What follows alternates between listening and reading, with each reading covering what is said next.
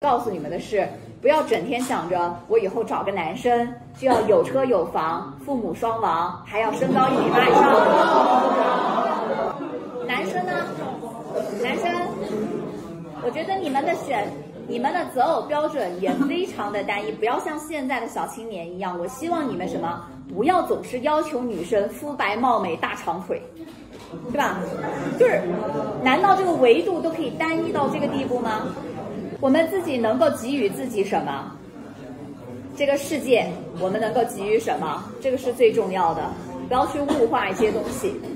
我们拉回到现实当中来，比如说你现在。如果真心说行，去谈吧。第一，你马上是面对人生的一个抉择，就是你要考试了，然后这是你的人生规划，对吧？当然，情感也是你人生规划的一部分。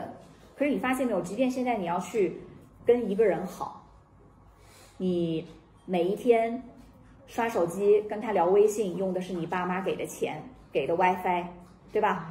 你买奶茶给他，送礼物给他，也是用你爸妈给的钱。屁颠屁颠的围着他转，你把它称作为爱情，谁相信啊？是吧？爱情有很多形式，至少在我这儿，我感觉有这样几种啊。它可以是放手，嗯，它也可以是相聚，也可以是永远的记在心里。对，有很多种形式，对吧？最后额外的。再附送给大家两句诗：要嫁就嫁给幸福，要输就输给奋斗。你要先嫁还是先奋斗都行，嗯，不影响。但是要明确自己究竟要的是什么。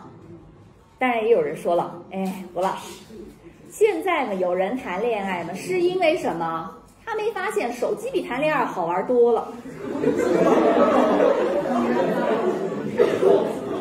啊，你问我手机和谈恋爱选哪个？手机。你要是谈恋爱的，开端跟个电视剧同样一个名字，对不对？不断在开端、开端、开端、开端，就这个意思嘛，对吧？下一个呢？开端、发展、高潮、结局，对吧？这几个部分，你们是不是脑海里面也是这么认为的？对，谁告诉过你们？小说一定要有开端，谁告诉你们小说一定要有高潮？又是谁告诉你们小说一定要有结局的？没有人告诉你们说一定要有啊！你们现在回忆一下，你们看的呃小说是不是一定会有这三个要素？不一定，那就意味着这个理论。有可能已经不适用于现在咱们去鉴赏文学作品了，这是我今天特别想要跟大家说的。所以我们要打破经验的束缚啊，敢于去突破这个现有的认知。那我今天想说的是什么呢？过去非常流行的这个小说的情节、开端、发展、高潮、结局，在现在其实我们已经不像这样来分了。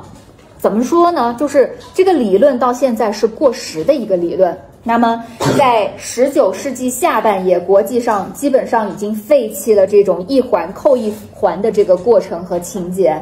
那取而代之的，我们把它叫做什么？你们今天可以记一下。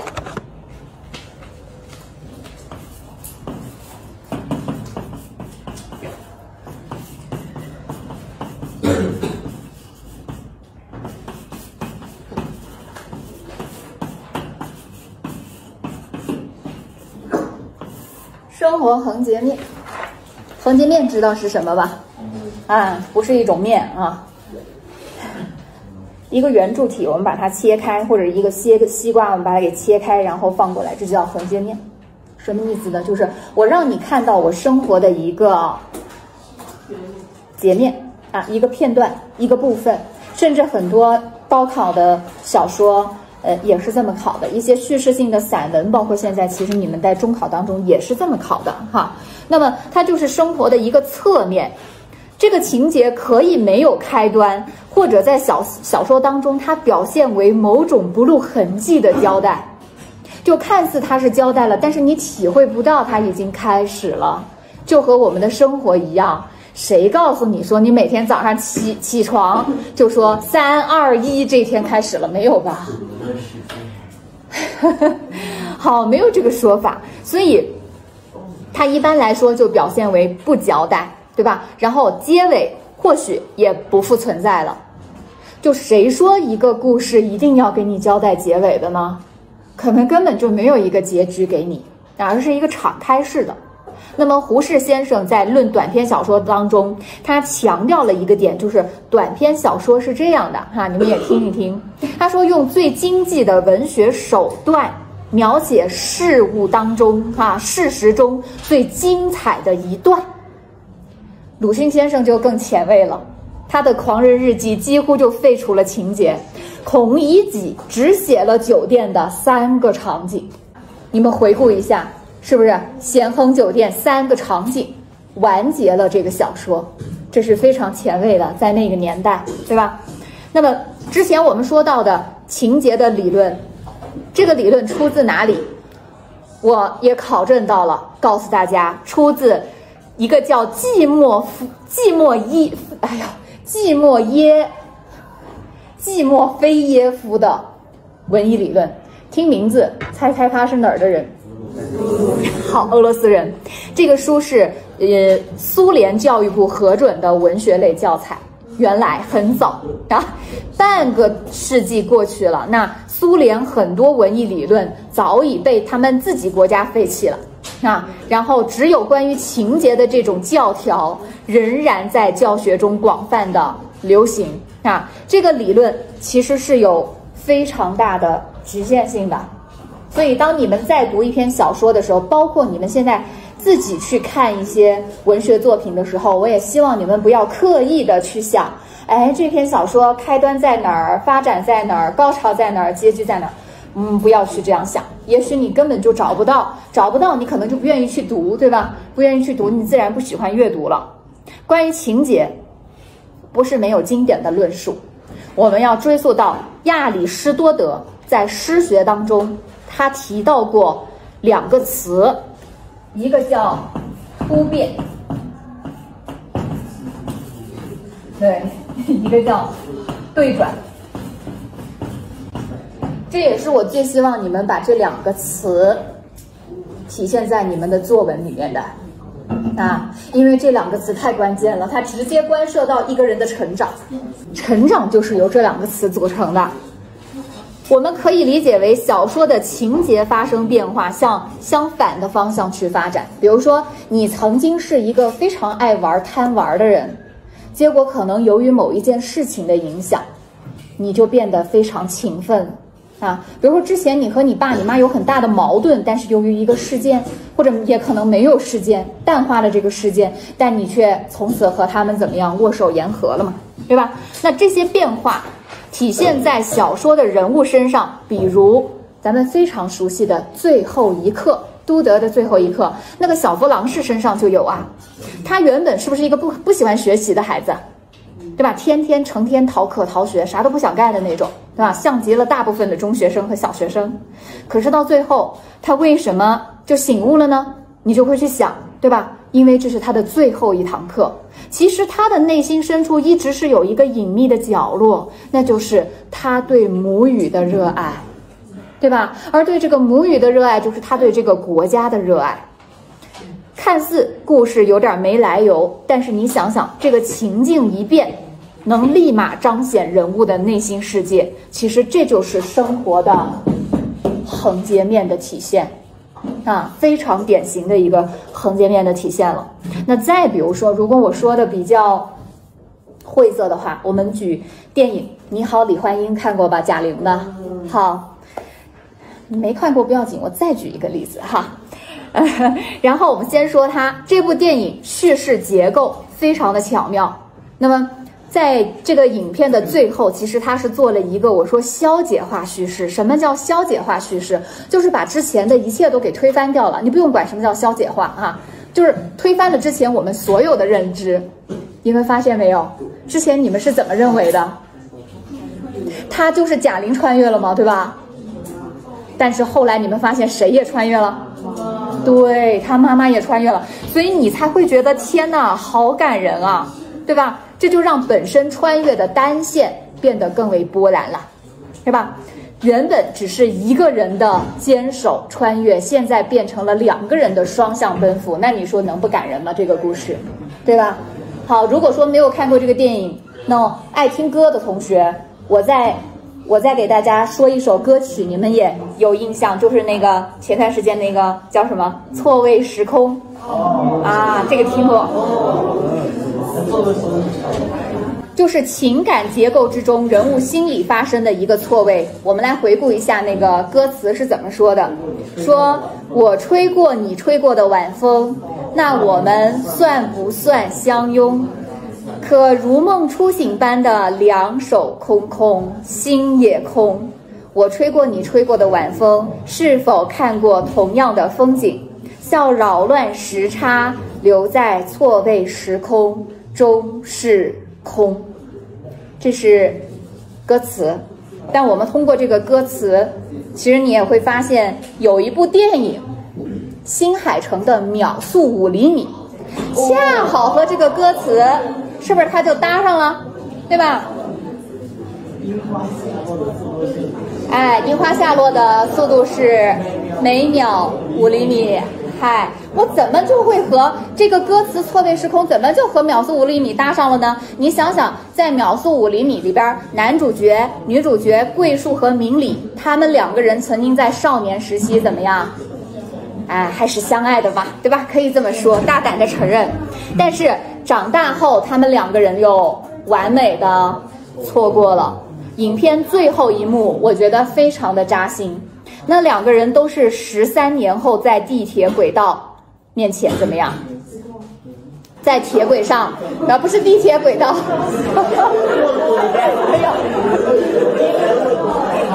没有那么悲壮啊。我记得那一幕是，呃，火车缓缓的开过来，然后呃，女主角明里走过去了，然后呢，桂树就在。铁道的另一旁，然后看着缓缓开过的列车，然后他的身影就淹没在了人群当中，啊，就是这样的一个一个画面吧。面对疾驰的列车，时过境迁，明里离开了，但是桂树还在原地望着那个飘落的樱花和远去的列车，桂树的脸上，呃。流露出了一丝笑容，但是这个笑容就你自己去玩味了，对吧？因为我在 B 站上就看到有很多小朋友就留言啊，然后最多的一句话就是炸火车，赶紧把火车给炸掉。然后我就是天哪，这完全就成一个梗了，是吧？但是我想说，也就是这样一种。嗯，错过才让这种这个故事，这个男女主角的爱情显得那么的刻骨铭心，是吧？不完美的错位结局，其实能够引发观众对于我们这个人生的思考吧，哎。但你要说他他有什么紧张的、激烈的冲突矛盾吗？没有，对吧？我们并没有看到这个故事的。高潮在什么地方？没有，没有显示出来，对吧？那么在我们文学创作当中，呃，这个错位的情感、错位的情节是非常多的。《红楼梦》它是不是也是个情感错位的故事？对吧？宝玉和黛玉两个人相互折磨，对吧？林黛玉的艺术性其实就在于她很多疑啊，如果她不是一个多疑的人，就写不下去这个爱情故事了。他越怀疑，怀疑的越深，和宝玉的误会也就越深，然后宝玉就要花越多的时间去澄清、去解释。就这样，在这个解释过程当中，你就发现，这个情感是不是也就越来越深了？啊，如果他不怀疑，就不可能解释的越来越深。然后呢，这样也就越能映衬出人物的内心世界。啊，通过上面举的这些例子。我只想告诉你一个点，就是以后再读记叙文、读小说的时候，不要再死抓着过去小学老师告诉你们的事件的起因、经过、结果，或者是开端、发展、高潮、结局，它很可能不是这样的结构了。如果你带着这样的结构，你去先入为主的读，那你有可能是读不明白的，那你完全读不懂他在写什么呢？所以，我们放开所谓的固有的情节结构，然后你去拥抱这篇呃这篇文章，你可能会读得更好啊。那么接下来我们看一下这篇文章，叫《六床病人》。古诗赏析题，其实到现在，如果你还是懵的，你就记三个字啦：判析情，判断分析情感。第一个判断怎么理解？判断这道题的考点究竟考的是什么？如果你连判断都判断不出来，这这首诗的考点是什么？比如说，人家是让你赏析这个句子，还是有意境的把它描述画面，又或者说，请你说一说作者的情感，或者是抒情主人公的形象？告诉你了，不用管它。你第一，你判断得出来就判断，判断不出来。直接分析，分析意味着什么？把这个“析”字换成翻译，就是翻译这首古诗，它涉及到的那个问题所在的句子，给它全部翻译一遍。好，翻译完，请你说出这个句子它的情感。有人说人物形象，没人就说抒情主人公。如果有景物，就说景物的特点。最后一句，全诗的主旨和情感说出来。你哪怕白到这个地步，这道题三分，你也可以得到二点五分的。我就只能说到这儿了，感觉你连题目都没有读懂，你也是可以得到二点五分的。照着这个思路去答。Hello，大家好，我是吴小艺，我今天又要说实话了，不知道这期视频能不能够被发出来。如果被发出来了，希望你能够分享给更多的人。首先一个问题，我们读书的十二年加上工作，大家用过多少本教辅？可以打在公屏上。每个人都想选择适合自己的教辅。今天我并不想去说具体哪本教辅好，或者是哪本教辅不好。我想最重要的是通过这个视频告诉大家，有哪些教辅是在浪费你的时间，你不用去买了。教会你选购好教辅的方法，这是一劳永逸的。首先，我们要来了解一下。你们知道教辅书商的营销费是多少吗？你们知道那些名为某某某什么学霸妈妈啦、藤校爸爸之类的啊，这些这些号的背后，它其实都有电商和 MCN 的支持，包括某音那些海量的图书推荐，其实教辅一直都是下单王。也就是说，可能文艺型的作品还不如教辅卖得好。你近两年有一个现状，就是很多的出版社、很多的书商都转而开始去经营什么教辅了，因为教辅能够赚钱，但是这期间质量是参差不齐的。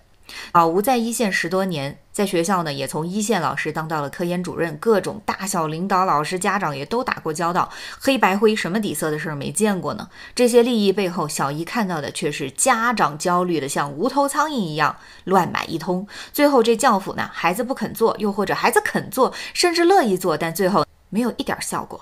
当然，我想这也要看你是怎么想的。如果你只是想通过教辅让孩子消耗体力，定在那儿一上午。进行一个低水平层次的循环，那么我无话可说。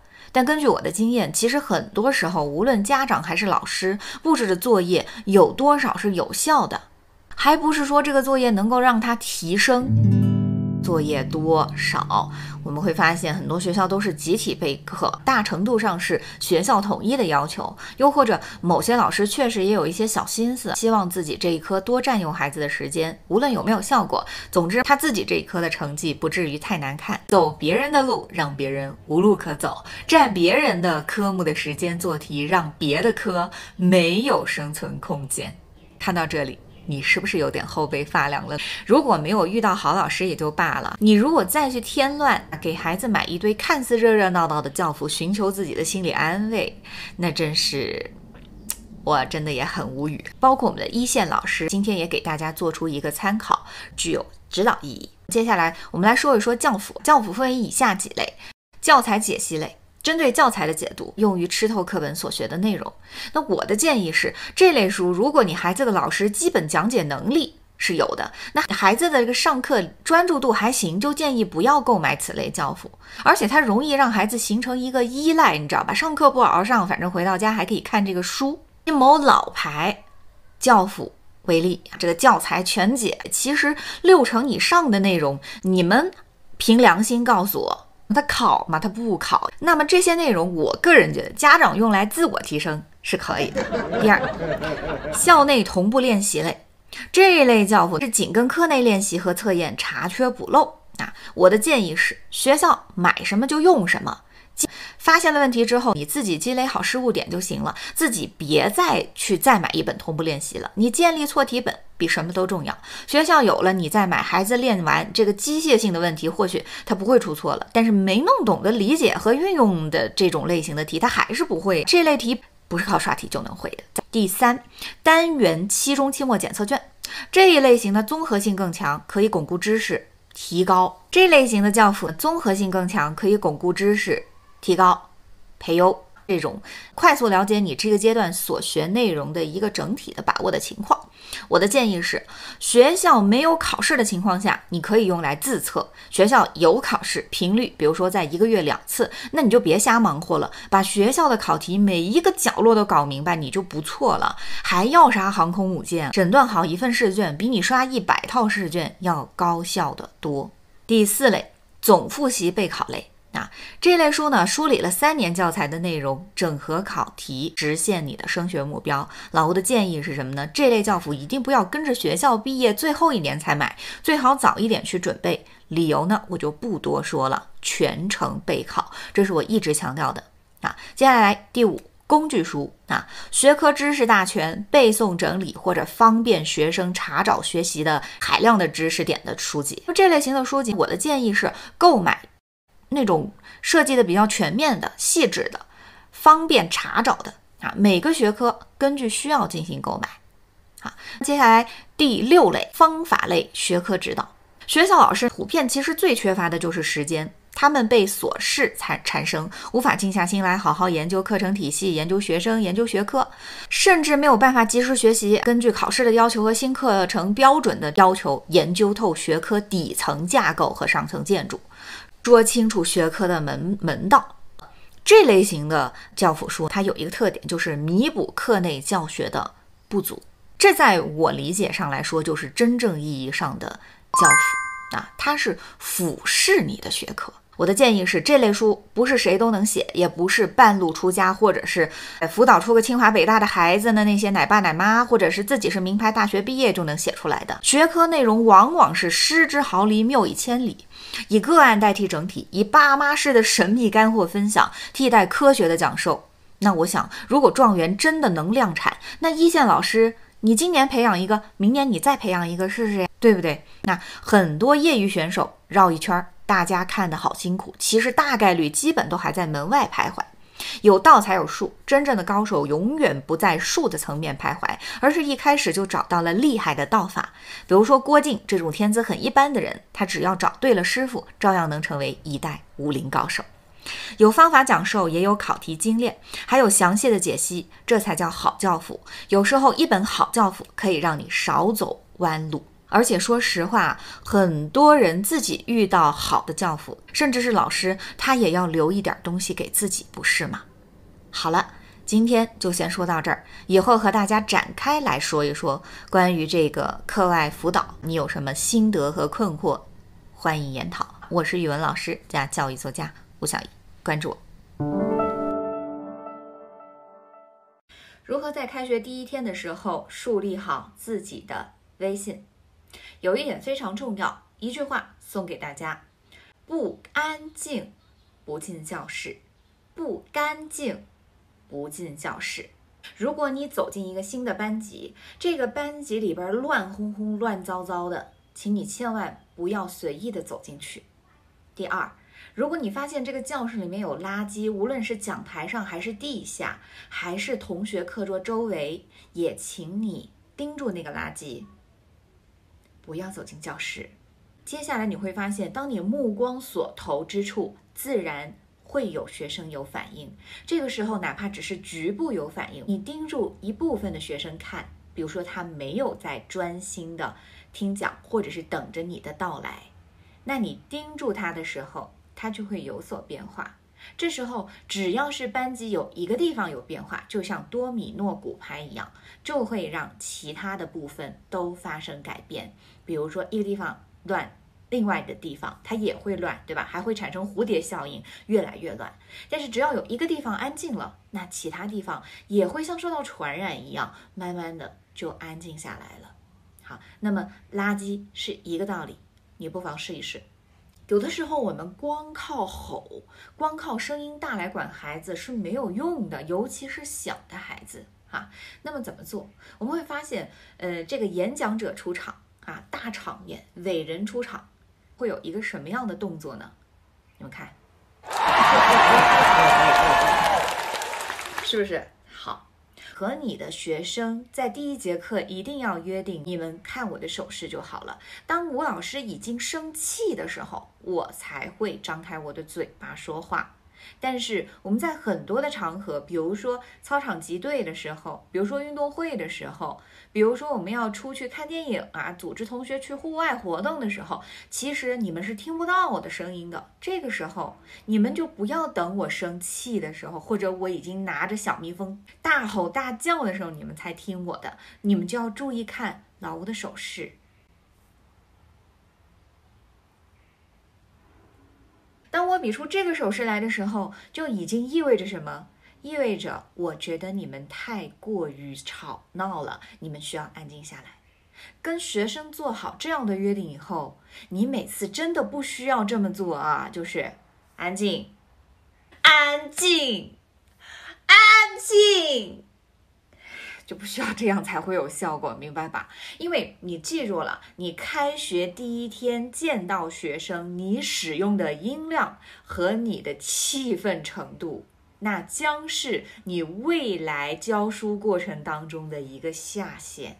我们老师真的会越当越累，然后火越发越不够，那学生越来越不听，那原来就是这个原因导致的。所以不妨一开始就把一切底线先建立好。那么，这是你梳理好自己微信的一个小小的妙招和前提啊！不知道你学会了没有？希望你关注我，接下来我会出一系列的帮助老师们树立自己微信的系列视频，和大家一起分享。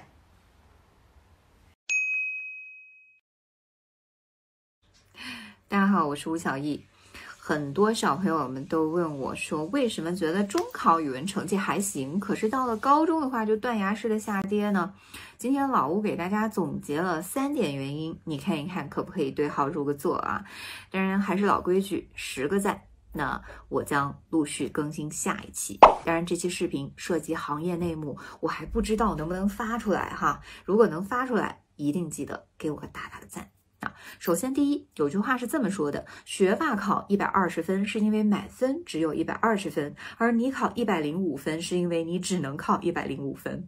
比如立定跳远，我们中考要求跳过一米二就都满分了。专业的说，这效度和区分度也太低了。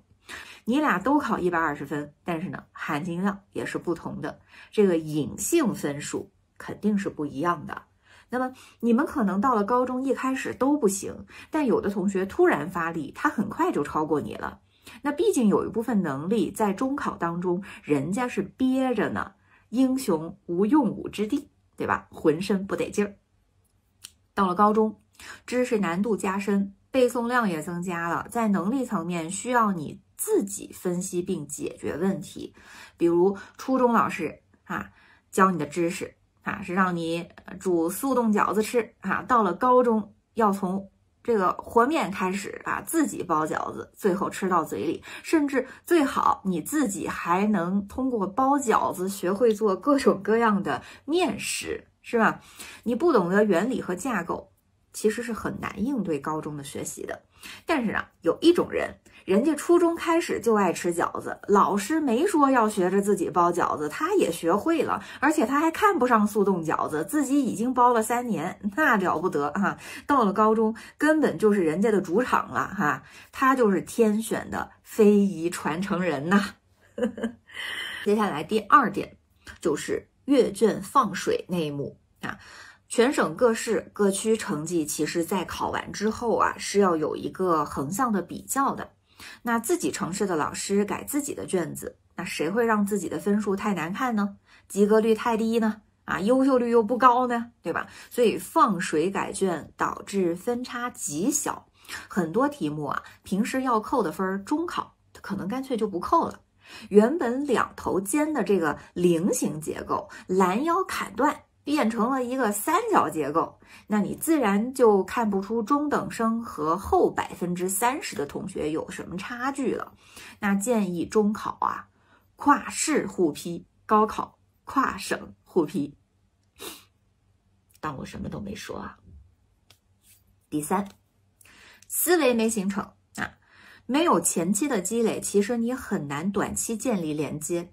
思维力是必须长期培养的，最速成不了的就是它了。所以在初中的时候啊，很多老师和家长就忙着去搞应试了。其实初中的应试呢，它的上限是非常低的。啊，比如很多同学到了高中就觉得语文太下头了啊，作文实属最下头啊。初中小学写语文呢，很多老师都是教着靠背嘛，为什么？平均分高嘛，背出来的作文，对吧？高中语文断崖下跌，作文玩不会了啊。看到有很多老师教学生去背作文，去找个素材，然后去变换一下，甚至就是教一些公式，然后来套作文。啊，那这些真的是违背了学科的规律啊！敢问真正有多少同学在考场的时候用上了、爱上了、提高了多少分儿啊？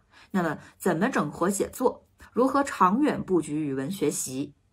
点赞十个，下期给干货。这个系列将是老吴长期更新的一个系列，关注我，我是吴小艺。大家好，我是小易，今天和大家夜聊一个话题：你在工作中或者是生活中被开过颜色玩笑吗？那我给大家回顾一下我的一个经历，就有一次我穿了新的衣服，就来到办公室，那天办公室就有一个中年女老师说：“小易穿新衣服了，年轻穿什么都好看。”这个时候。就有一个中年女老师接上了一句说：“不穿更好看。”然后我顿时之间，你知道，我就愣在那儿，我愣住了，因为这个办公室里面有男老师，还有学生那，所有老师都在。其实我那个时候是怎么说呢？我觉得非常尴尬的哈。后来我也在想一个问题，就是如果那天办公室没有男老师，我会不会没有那么尴尬？后来我觉得不是这样的，这件事情的本质并不因为有没有男老师，它的本质是他的这番话语是指我年轻，我的皮囊是有弹性的，身材是好看的。但是我想问的是，你真的见过吗？那我是维纳斯，我还是大卫？你真的看到过吗？如果我不是一个赤裸的艺术品？那这番话所指的，其实就是我的身体能够唤起别人的欲望。那么我为什么会生气呢？你仔细想一下，其实是因为我被物化了，进而被消费了。我是因为我被消费而产生了一种愤怒。其实也有很多的社会学者做过调查，就是女性其实更倾向于在颜色笑话当中去消费女性。它的本质其实是厌女以及自身能量的一种缺失。那深层次上来说，我今天也想过啊，其实是我们对爱和欲的某种深度的混淆，其实在方方面面都有所体现。那关于爱和欲，我觉得一位德国的学者有一个非常深入的。解释，他觉得爱其实是站到对方的角度去对他进行一种审视、呵护，是站到对方的位置去关照对方；而欲是把对方彻底的物化，站到对立面，是自己释放自己嗜欲的一种方式。我们在文学作品里面有非常多的感官描写啊。那么这些感官描写，说实话，就是很多感官，你一旦放大十倍或者是二十倍，这个时候你都会有一种更深层次的爱或者是欲。产生，但是我们要探讨的就是这些描写，它究竟是基于爱还是基于欲？那我觉得，我先举一个例子，你怎么来进行一个判断？我上大学的时候，我觉得最为难我的一件事情，我不知道你们会有没有遇到过。大学有澡堂，因为我们那个时候没有卫生间可以去独立的卫生间去洗澡。所以你就要在澡堂里面去洗澡，这对我来说真的，即便是分了男女澡堂，但是一格一格的，对面也看得到你，赤裸相见的那种感觉，我是特别恐惧的，可以说，对，而且在我看来，我其实是一个无性别主义者，你能够理解？你把我丢到一个女性的澡堂子里，和把我丢到一个男性的澡堂子里，其实给我带来的那种。不适的感觉，尴尬的感觉是不相上下的。对，就包括我现在始终都觉得分男女厕其实是一种最大的霸权。为什么不设立第三卫生间？因为每个人我觉得都是一个独立的个体，无论是精神还是身体的入侵，其实我们。都是格外警惕的，所以我们才后来穿了衣服，我们会有这样那样的一种遮羞、一种装饰，对，都是这样的一个进化的结果。嗯，直到有一次我遇到了一件事情，也非常的难忘，就有一个姑娘突然之间，我在洗着澡就走了过来，我不认识她，她就跟我说：“你可不可以帮我搓一下背？”我愣住了。那我这个时候是帮他搓背还是不帮他搓背？搓完背之后，最要命的一点是什么？他要帮我搓背。这个时候他说：“你不搓背吗？你这背没人搓脏。”你说我还能说什么？好，他搓背，他就发出了一声惊叹：“你的背好白，皮肤好细腻。”你知道我当时整个人震惊了，因为他是典型的那种北方大牛，我是一个南方的姑娘。所以我真心当时是接不住他这番话的，我说我觉得他这么一惊呼，周围所有人都在看，你知道吧？但是这个时候很奇怪，我却没有任何的心理不适，就通过他帮我搓完背，我帮他擦完背，我这个心里是彻底脱敏了。我也在想，为什么通过这样一个举动，彻底让我。觉得好像可以去直视一些东西了。我觉得很明显，其实是因为我明白，因为这件事情，我明白了人的身体是可以被直视和欣赏的，但并不是你欣赏的、喜欢的，你就要去据为己有。那前段时间也有一个事情，说面试的时候有一些女性化妆遭到了批判，我就说他们是为了讨好男性考官的认可。那其实我个人是完全不同意这样的说法的，提出这个观点的也竟然大部分是女性啊。那我个人觉得，女性提出的这种观点以及她们对待其他女性化妆的态度，其实是对自身性别的不自信，是一种厌弃。那难道我化妆就不会是为了讨好我自己吗？讨好同性吗？为什么你要预设说对面是一个强有力的？男性这样的一种预设，这是生活。那在我们文学作品当中，其实也会遇到一些这样的场景啊描写。比如说，对于读者而言，这样的一些感官的描写，它唤起的是你的爱，还是你的欲呢？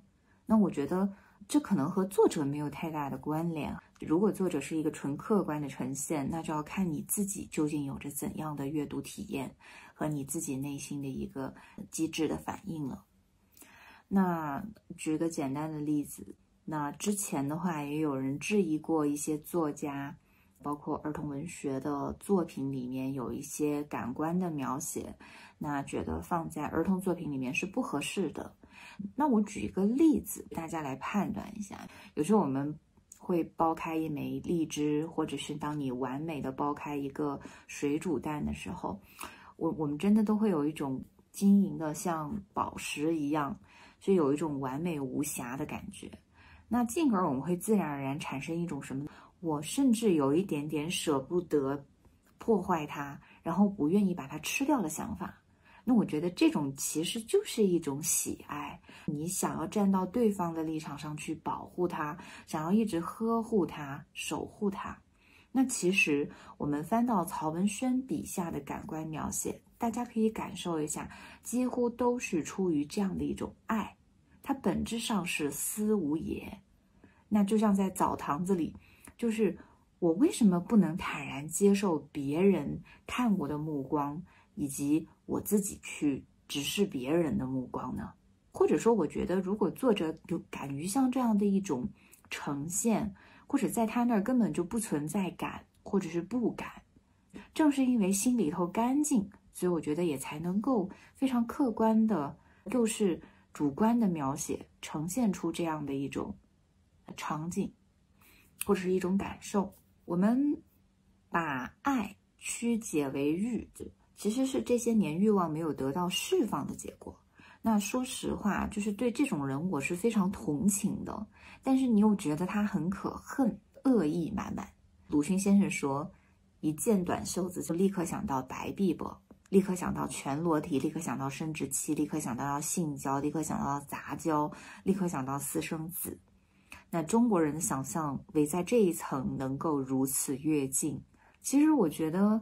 这也让我想到有一次访谈节目，俞飞鸿在和几个男性聊天的时候，就也聊到过一个问题。其实这个男主持人是非常不礼貌的提了一个问题，就是说你不谈恋爱不结婚，那你如何解决自己的生理需求呢？然后俞飞鸿直言，男人和女人不太一样，男人可以把爱和性分开，但是女人不可以，没有爱情的生活注定是悲哀的。那我想，如果到今天，人类作为这种高级动物，如果到现在还在去用洋剧和封建道德看文学作品，那我觉得，说实话，你不如自己去买个充气娃娃回家。还有就是，有一些宝爸一天在抖音里刷那些拖拖跳跳的小姐姐，你怎么回到家看到你儿子看这样的一些内容，你就能炸毛了呢？那你是不是？也觉得你儿子是在看抖音小姐姐，我们都是在用自自己的立场、自己的判断、固有的一些观念去看待别人客观呈现的一些东西。那关于之前我们提到的，就是那个姐姐生的飘飘的这段话，其实是出自汪曾祺老先生的作品啊。如果不知道，你搜一下西南联大的历史，了解一下。我想。如果汪老要是活到今天，看到大家像这样去解读他的文章，你就算是拉两火车皮人来，他都能够把你骂回家。最后，那我真心的呼吁，其实女孩子们真的应该从心底里面学会自信，学会自己去生展自己身体里面的能量，做一个优雅自信的女人。对，借用汪曾祺老先生的一句话吧，文章里面的一段话来作解：栀子花粗粗大大，有香的，掸都掸不开，于是为文雅人所不取，以为品格不高。栀子花说：“去你妈的，我就是要这样香，香的痛痛快快，你们他妈的管得着吗？”今天就要告诉你，孩子该打还得打啊！告诉你不要打孩子的人，你不看看他是谁啊？是别人孩子的父母，或者他自己还没生过孩子呢。而别人的孩子是你的孩子吗？那凭什么断言不该打孩子呢？别人的孩子啊，一般都很优秀哈。这优秀难道没有可能是天生的？比如。我有两个孩子，一个孩子呢从小就不规矩、好动、注意力不集中、坐不住，讲道理呢也根本不听；另一个呢从生下来就很安静、爱笑，还特别懂得察言观色。你说这是我培养的吗？那肯，那我估计很多鸡娃号会告诉你说，胎教很重要哦，对吧？要把两个孩子都教育成理想的模样，你说这方法它能一样吗？啊，我说实话，谁愿意把真实的教育历程和你分享呢？这些例子呀，它都是非常典型的个例哈，而又凭什么人家会把一个不不太理想的孩子教育的理想之后，人家愿意把这个东西分享给你呢？这个课不应该是天下最贵的一堂课吗？我曾经的同学哈，动辄哈佛、耶鲁、清华、北大啊，我确实在他们身上呢看到了很多闪光点哈。我的学生呢，双一流、藤校、本硕博连读根本不稀奇。可是很多时候，你去问老同学的爸妈，阿姨，你怎么培养他的，让他这么优秀的？嗯，我没怎么管啊，打麻将、去旅游啊，不打不骂，他也就勉强考上了个清华吧。然后你再问同学哈，那就更谦虚了啊。最后一个学期一不小心一努力，哎呦，就上了北大了。嗯，其实我也没想到啊。说实话哈，我身边更多的是复读几年考上北大的。以及打打骂骂、吵吵闹闹，最终成长成才的孩子，那你觉得哪个更贴合你这个生活实际呀？哪个更真实啊？作为教育工作者和二胎妈妈啊，我负责任的告诉你，对很多孩子而言，不打是不可能成才的。你就像抗生素，绝大多数时候它是可以救命的哈。当然，癌症那不行啊，该打你还得打啊，特别是小孩子，他动物性的大于人性。那但是咱们呢，就不不叫打孩子啊，咱们叫惩戒啊，这和打有区别的哈。惩戒什么意思呢？咱就事论事，你这要求一定框定好了哈，然后呢，他违反了这个原则之后呢？你用打造成的疼痛加深印象，其实这个呢和背书的时候那个肌肉记忆的原理是相似的哈。而且打在很多的场合啊，其实它对孩子的伤害是小于言语的伤害的。那我举个例子啊，比如说在外边排队的时候啊，升国旗都很安静啊，孩子们都在外边站着排队啊，这时候有一个孩子站歪了，或者说他在讲小话和别人。那这个时候啊，如果你大吼一声“某某某”，哎，注意别讲话了，升旗了。那这个时候你会发现，嗯，他要么白你一眼，要不然呢，啊，稍微听一小会儿话，然后呢，过一会儿又出出出出出出，啊，就是这样的一种状态哈。那这个时候你宁可做一件什么事儿呢？你悄悄走过去，蹬一下他啊，打一下他的手臂，哎，这个时候。他没准儿会觉得，嗯，感谢老吴给我面子啊，我要站好啊。其实这个动作呢，它不叫，它严格上说不叫打，这叫一种警示。这种打就是一种善意的提醒，他会记得你的好，因为你保存了他的面子啊。那确实有的老师呢也会对孩子动点手，但是为什么人家不追究呢？孩子也不追究呢？哈。那前提其实就是信任。那么你打孩子，为什么有的孩子会记仇呢？打的前提是什么？其实就是信任。孩子和父母之间的关系要怎么培养啊？你想想，你和领导如果能处好关系，和你爸妈啊，你能处好关系，和你的伴侣你能处好关系，和同事你能处好关系，你把以上的智慧。忍耐、毅力、勤劳啊，给他都综合起来，叠加 buff，我相信你大概率也许就能和你自己的孩子处好关系了。教育好孩子，和自己相处好，我想是一辈子的课题。关注我，我是吴小艺。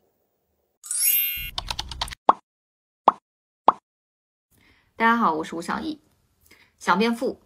想上清华大学，啊，我想看你怎么学语文，就知道了。这些年啊，如果说，嗯，看了这么多学生，其实确实在学语文这个学科上，最能体现出学生的一些基本的素养和能力啊。那如果在我们眼里边的富人哈，他们是锦衣玉食，资源丰厚，那我今天想说的就是这类人。今天我不想说，哎，什么富人的内心世界也要丰富啊！我不想和你玩三观的文字游戏，富就是富。咱们今天的语境可就是它的原意，富有啊！你们一定会觉得富人们从小就是培养孩子的这个马术、高尔夫、击剑这类贵族运动吧？不，他们只有一个原则，就是你能够交到朋友，开心快乐就好。啊，不是因为你学了这些你就高贵了，而是因为你本来就有钱嘛，你就高人一等，对不对？所以别人慕强啊，把这群富人给捧贵了所以他的这些运动也就自然而然贵了哈。当然，你也不排除凑巧有一部分人就是喜欢这些项目，那有钱人不喜欢这些项目的，我想大有人在啊，只是没告诉你罢了。那大家也有可能会看到这样的新闻啊，就什么李嘉诚的儿子坐火车睡地下买站票哈，这类炒作你们也真的有人信？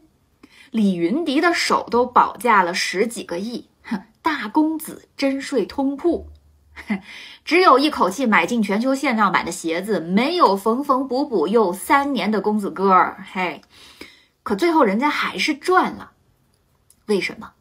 这叫垄断。普通人，你心心念念的呢，到最后你还是想买一双这样的鞋，你不还得找人家吗？这叫越有钱越有。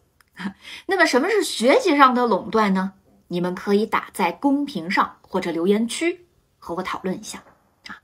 我一个同学，高考四百分，他哥上北大，他上了清华。啊，后来呢？大家说哦，他是足球特长生哈，于是很多人呢就去模仿了哈，心想读足球特长生能上这个呃北大那么低的分儿啊，那我也搞特长啊，同样是特长生，你最后发现我怎么可就上不了清华了呢？啊，后来我们也才知道，人家老爸直接捐给了清华一栋楼。啊那说到这儿，哎，你又觉得老老吴太悲观了吧？你又嫉妒了吧？是吧？有什么可嫉妒的呢？各位，如果你要真给北大能够捐一栋楼，我如果是哈佛校长，我作为中国人，我但凡有点私心，我让你走后门读哈佛都行，知道吧？那那穷人真就没有路可走了吗？不，咱也不能那么悲观啊！这不是咱们今天这些视频的核心啊！毕竟该借鉴的还得借鉴。那富人注重培养孩子什么呢？对吧？学习很重要，意志力更重要，脸皮还要厚。学习是无处不在的，每时每刻培养孩子的意志力啊，从小就培养孩子不服输的意识。锻炼意志力的方式呢，其实真的是有很多的啊，最廉价的就是跑步啊。啊，除非你想穿一双上万块的跑鞋，对吧？那不廉价哈。游泳、攀岩、打篮球其实也是可以的。就是你很难想象，你让一个青春洋溢的孩子去打高尔夫球，那你还不如跟爷爷奶奶去打门球，对不对？我想说啊。那什么人会这么培养孩子呢？那是小资产阶级、小手工业者、小作坊主、小药商、倒爷做的事儿啊！为的是什么呢？为的是别人相信啊，相信自己，因为他自己开的车子、住的房子、养的儿子都很高级啊。那这样生意不就能成了吗？当然，如果你恰好就是我说的这类人群，那咱们后边也可以好好聊聊小资产阶级如何培养孩子哈。那大企业家养孩子，孩子健康快乐是最重要的。容易抑郁的孩子呢，他有个特点哈，心太善，脸皮呢又太薄了。富人养孩子啊，书本上的内容实在学不懂，孩子愿意就请私教，不愿意呢就发展什么？发展特长呗，那再不行哈，咱就期待他心理健康就好。总之啊，对分数的这个期待远远是低于普通家庭的。给孩子一片森林，孩子自然不会走极端啊，他不会在一棵树上吊死，因为有了钱呐，这个确实从某种程度上来说可以弥补很多的不足。姚安娜不就是个典型的例子吗？你要混娱乐圈是吧？好的，老爸出钱就行。但这个家业还需要有人继承，对吧？那怎么办呢？多生啊，总能生出一个有基因优势和后天成才继承家业的吧？但是因地制宜、因材施教，真的只属于资源丰富的阶层。别的孩子自古华山一条道，可是咱也不能给孩子太大压力哈。咱给不了一片森林哈，但是。咱至少可以给孩子看到森林的机会吧。我想，只要你看到，只要你给他眼界，那这压死他的最后一根稻草可能就不会来的那么容易，不是吗？而语文其实就是为孩子的生命打下底色，那这是一个最重要的学科。语言的力量真的是不可估量的。那除了重视心理健康之外啊，那富人们还比较看重的是孩子的知识面啊、见识、眼界。那我有一个学生，他爸是香港企业家，妈妈是日本人，家里有四个孩子。小的弟弟呢比较贪玩，自律性差一些，但爸爸呢就是希望他能学好中国文化、中国历史，写一手漂亮的汉字啊，以后把国内的这个市场交给他。啊，就要求什么呢？老师呢给他好好讲故事就行啊。那我吃惊的是什么？一节课。除了在给他讲述啊，就是在回答他的问题。再有趣儿的内容，他也能比较理性的跳脱出来，提出自己的问题和思考。这真的非常考验我的知识储备啊！好在他也挺喜欢我的哈。最后，他和哥哥姐姐一样顺利去藤校读书了。那家里根本不在乎升学和考分儿哈，当然评价体系是不一样的哈。那人家这孩子呢，也不娇惯。每天自己骑自行车到学校上学啊，上的是国际学校，而这里的国际学校可不是咱们知道的那种啊，学几门语言啊，那种小班教学啊，考个雅思托福准备出国留学那种天价国际学校啊，而是各国驻华大使、外外国的驻华公职人员和外籍人士专门送的学校啊。学校没有什么集团冠名，也没什么商业化哈，也不是你出钱就能进去的。再说一条，啊，没有苦难，谈何美好？没有劳动，谈何珍惜啊？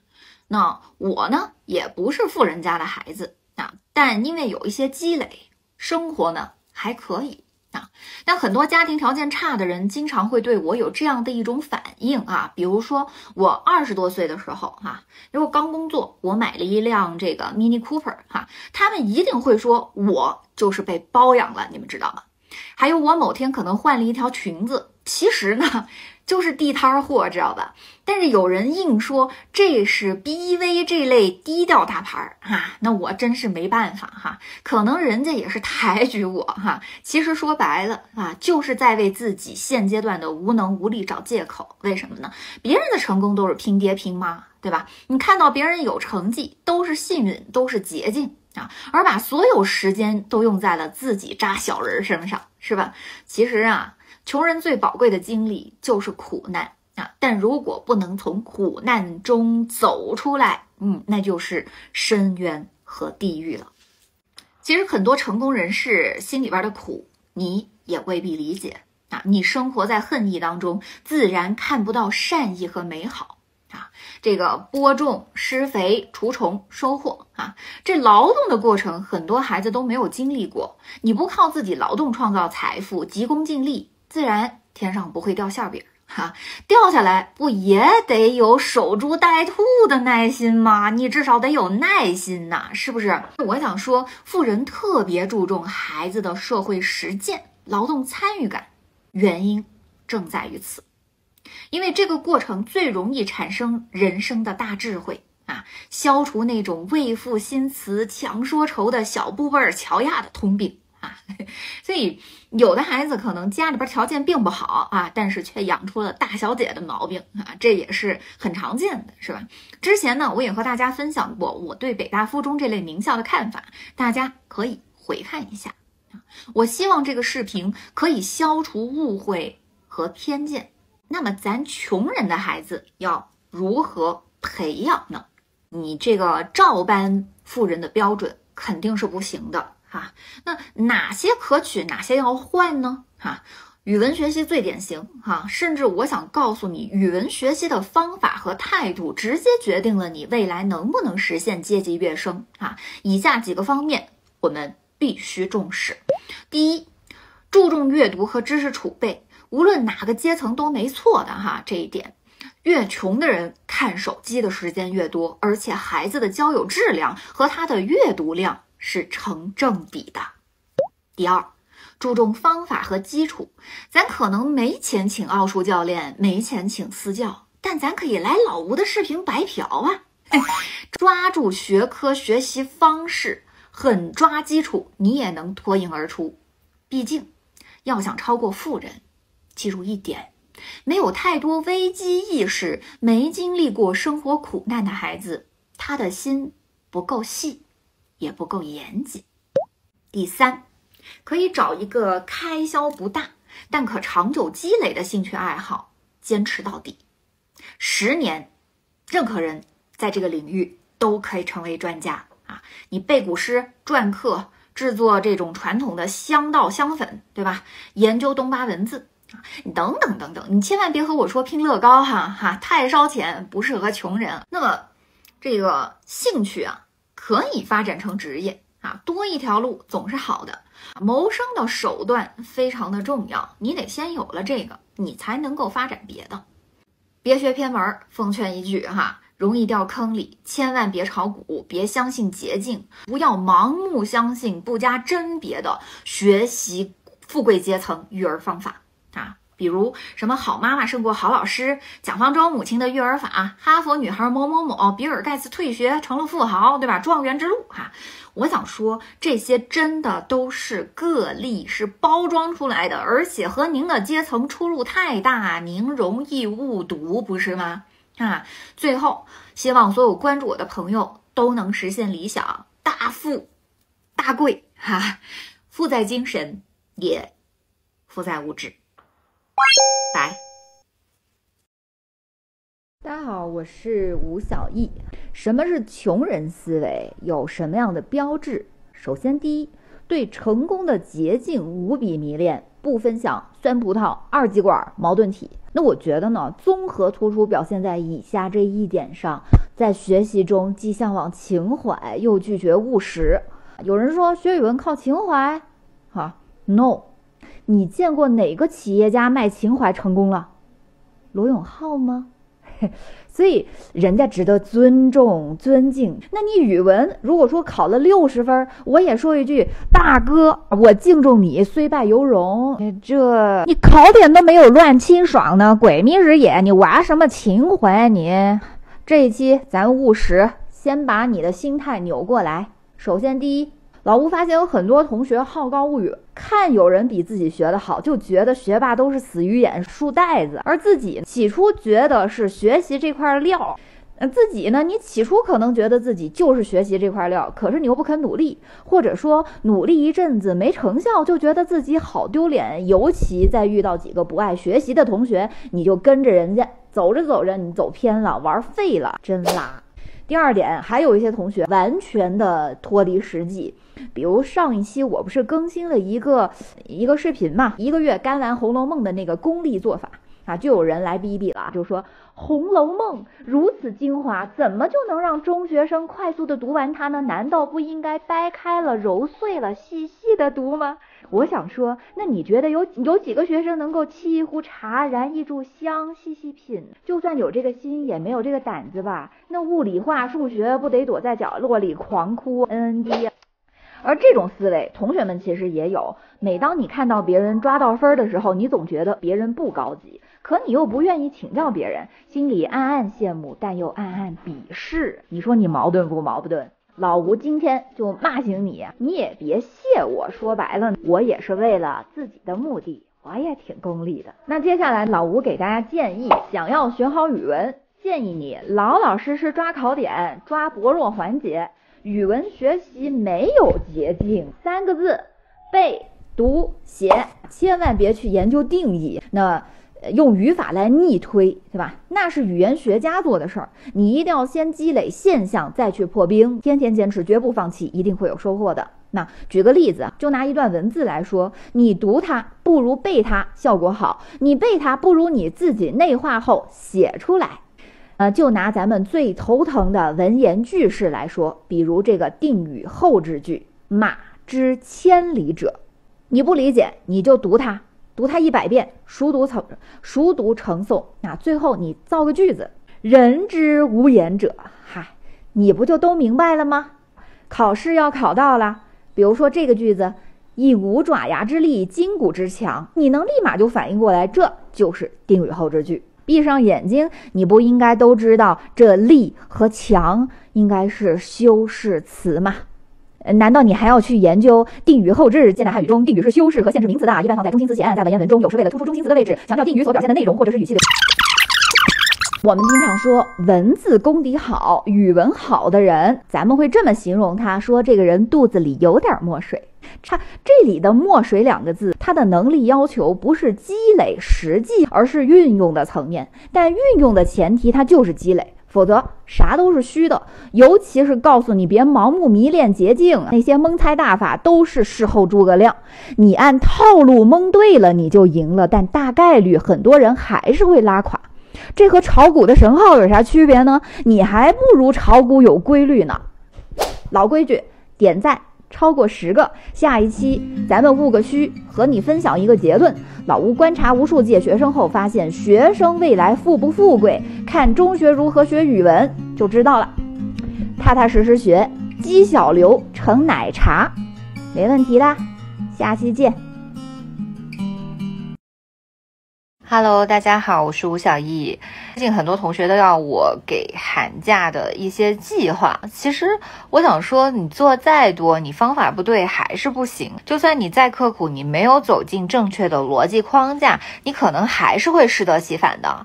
所以我前思后想，我觉得不如今天就给你我这十多年来总结的一些方法。按照我的方法，我觉得这个假期最合适的其实就是去搞定你的作文。呃，打一个比喻，就是一只孔雀，你把它的毛全都给拔掉了，那肯定就不好看了。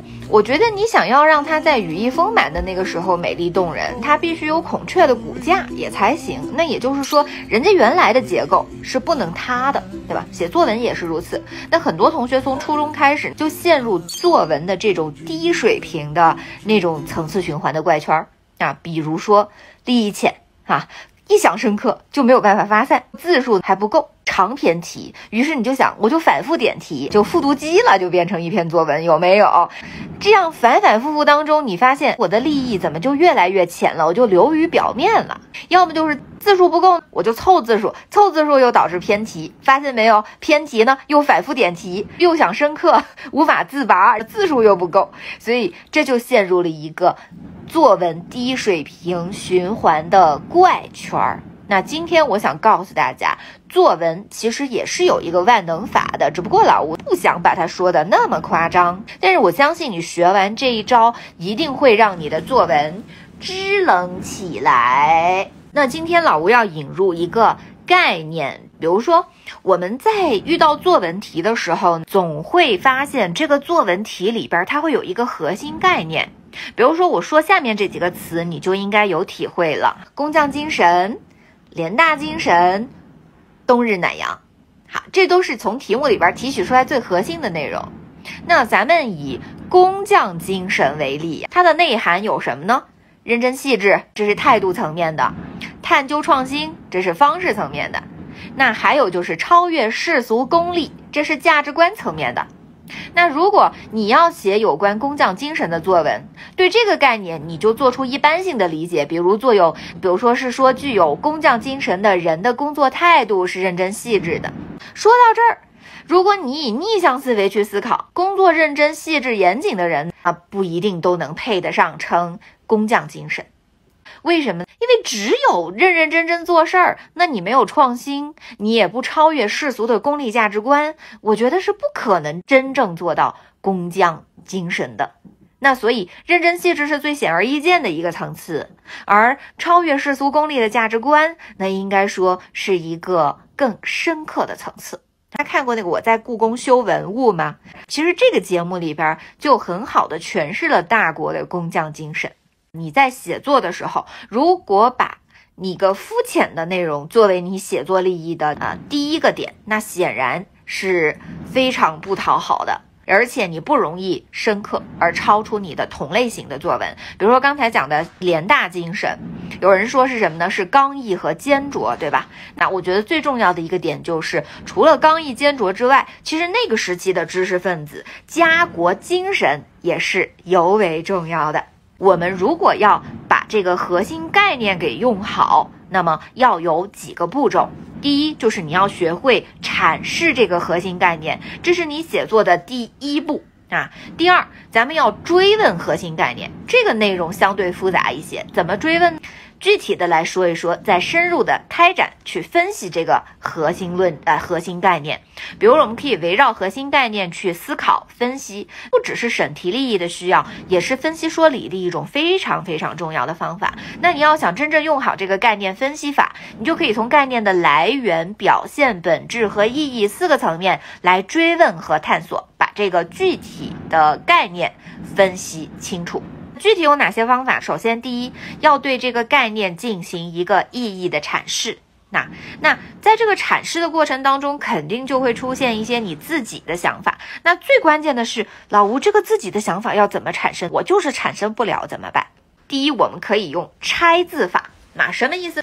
比如说，我们讲到啊，这个“忙”这个词。那比如说我很忙，那忙这个词怎么写？竖心旁一个王，那用我的拆字法就是心忙就叫做王，这个观点就通过拆字啊体现出来了。但是大家也可以去借鉴这一段话，节选自鲁书源的《书生意气》，大家可以截屏。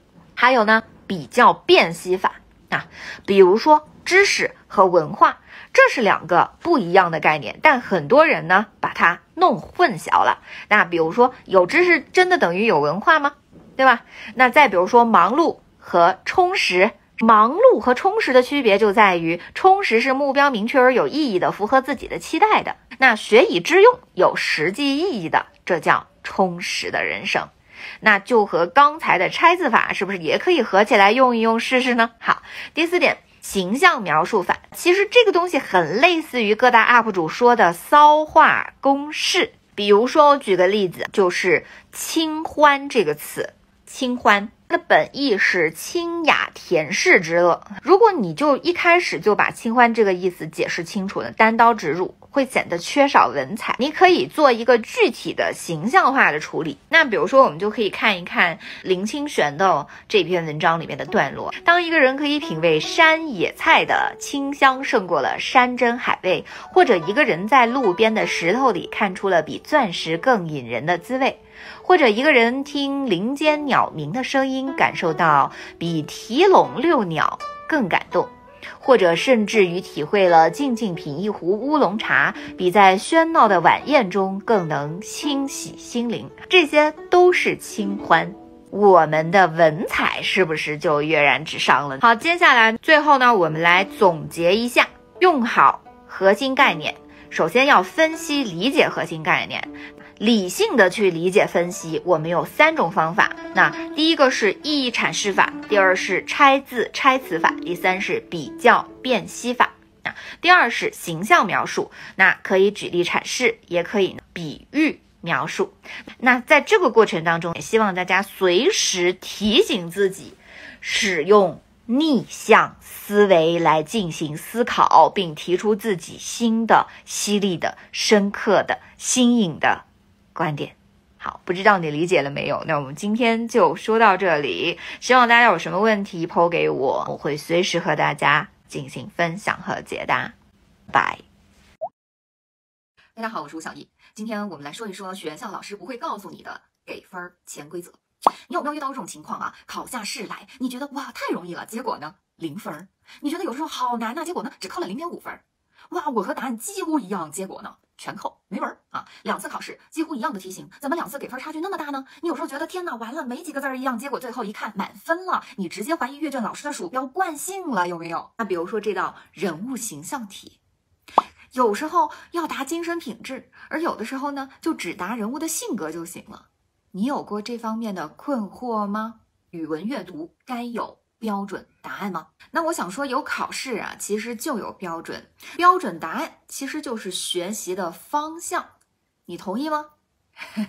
我们先来搞清楚什么是考试啊？考试是一种知识水平的鉴定方法，有鉴定呢，肯定就会有标准。那考试可以检查学生的学习能力和知识储备，这一点。和言有尽而意无穷，萝卜白菜各有所爱的文学解读，其实还是不太一样的。那试题的评分标准呢，是经过层层筛选打磨后得出的。阅读题有答案，但是谁都不敢说这是绝对标准的一份答案。你考完试，老师们拿在手里的那一份叫做评分标准。试题是命题人出的，评分标准呢是阅卷人参考命题人的意志，在阅卷过程中预估考生的认知水平，结合考生的实际作答情况，再三斟酌后给出的采分点儿。那么，如果说我们今天把语文学习中遇到的答案做一个区分啊，区分，那老吴认为可以分为以下三种，敲重点了啊。第一，参考答案。一般练习或者教辅书后边的答案会给出解题的一些思路，有些呢它仅列出了关键词，比较精简。那这些呢，你可以把它看作出题人给出的答案参考。第二，标准答案。这个答案呢是供教师阅卷用的评判标准，一般不会公布出来。每次大型考试会根据考生的作答情况，对出题人给出的参考答案做出赋分、关键词、答题思路上的一些调整。那用来保证整套试卷的效度，也能够更好的区分不同考生的水平。那为了让大家全面清楚的了解评分标准的由来，那我今天呢也送给大家一颗定心丸儿啊，分享来自我的前辈兼好友江苏省语文教研员徐杰老师在命题方面的一些具体做法和态度，希望能够打消语文试题在你心中的神秘感。徐老师在组织老师命题方面呢，分享过自己的做法，比如先召集部分的骨干教师讨论命题纲要，对考察范围、题型、分值进行一个一个规划啊，然后呢下发，接着呢组织三人一组的命题小组，根据命题纲要独立原创命题，然后呢在其中一天封闭讨论模题。那这个过程呢，徐老师说应该还算科学，但是后来他发现三人模题也很容易陷入判断的盲区，所以呢增加了一个程序，找对应学段的一位老师来进行模拟考试啊，然后对照答案再次优化命题。那我们从命题专家的日常工作来看，不难发现，一套题的答案绝非是一个冰冷的机械怪兽啊！无论是考题还是答案，我想都是经过双向打磨之后啊，最后期待能够调动大家知识储备和情感思维能力的一种存在。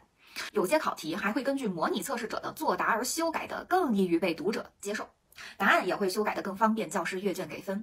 那说那么多，其实是想告诉你啊，咱们这个评分标准不是给你的，是给谁的？给老师的。而参考答案呢，参考度它真心是不高啊，很多人就坑在参考答案上。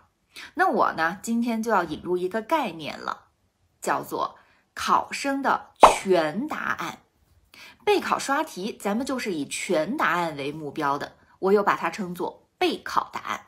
其实这才是考生复习时候应该遵循和训练的答题思路，因为它详尽具体，思路清晰，逻辑严密，考生可以遵循思路来进行作答。而这个答案的特点呢，是由解题思路贯穿，答案的层次是非常清晰的，而且有课文内容综合的阐释。考试。之所以公平，就是在于它有标准。之前大家看我的视频也了解到，阅读题本来就与作者没有太大关系。那高考是高考，作者是作者，考试向来呢寻求的是诠释与过度诠释边界的合理性。你把作者搬出来，有时候只会更加尴尬啊！培养好能力和素养，是迎接语文新高考正确的姿态。那么，既然这个答案的水那么的深，那咱们该如何选择好教辅去刷题呢？那比较传统的教辅，比如在小学阶段的这个五三天天练、黑马、七彩课堂；初中阶段咱们有外围试题研究，还有天力三十八套；高中阶段呢，五三全品。如果老吴按照一个功能和侧重点来分呢，我们可以分为底层逻辑原理类的。老吴的那本一线素养。就是如此哈，直接和大家梳理了小说和散文的前世今生，把大家在日常阅读和做题当中的这个痛点给大家讲透了、讲清楚了啊。那还有一类型是什么类的呢？我们叫做内容整合梳理类的，比如说全品、外围，对吧？它是学科基础知识拉网式的那种复习，为的是让你在复习的过程当中不要遗漏要点。那早些年的试卷和真题啊，可以说做的相对是比较传统的。近些年呢，其实也出现了一些刷题类的教辅。那比如说，我最近就做了一套这个高图的两千题。那今天和大家一起来分享一下做这个教辅的直观的一个感受吧。我觉得你选任何的教辅啊，就有一个非常重要的标准，就是嗯，你要精刷，而且答案呢要详尽，层次要清晰。那理科编排，我觉得是要有梯度的；文科要有母题意识。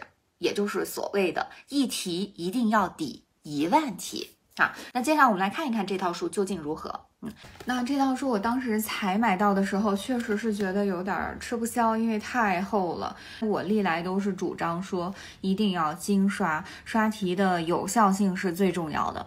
那最后我打开之后发现呢，其实这个题目呢也不完全多，为什么呢？因为，嗯，它是分为三册，然后呃，第一册我们叫做呃两千题的原题啊，我们就是刷题本题在这儿呢，然后接下来是办学讲义，那还有一个就是答案解析啊，你看答案解析也非常的厚，这样的一本，这个书主要是囊括了咱们的十年真题、一年的模拟，然后还有讲练的分册。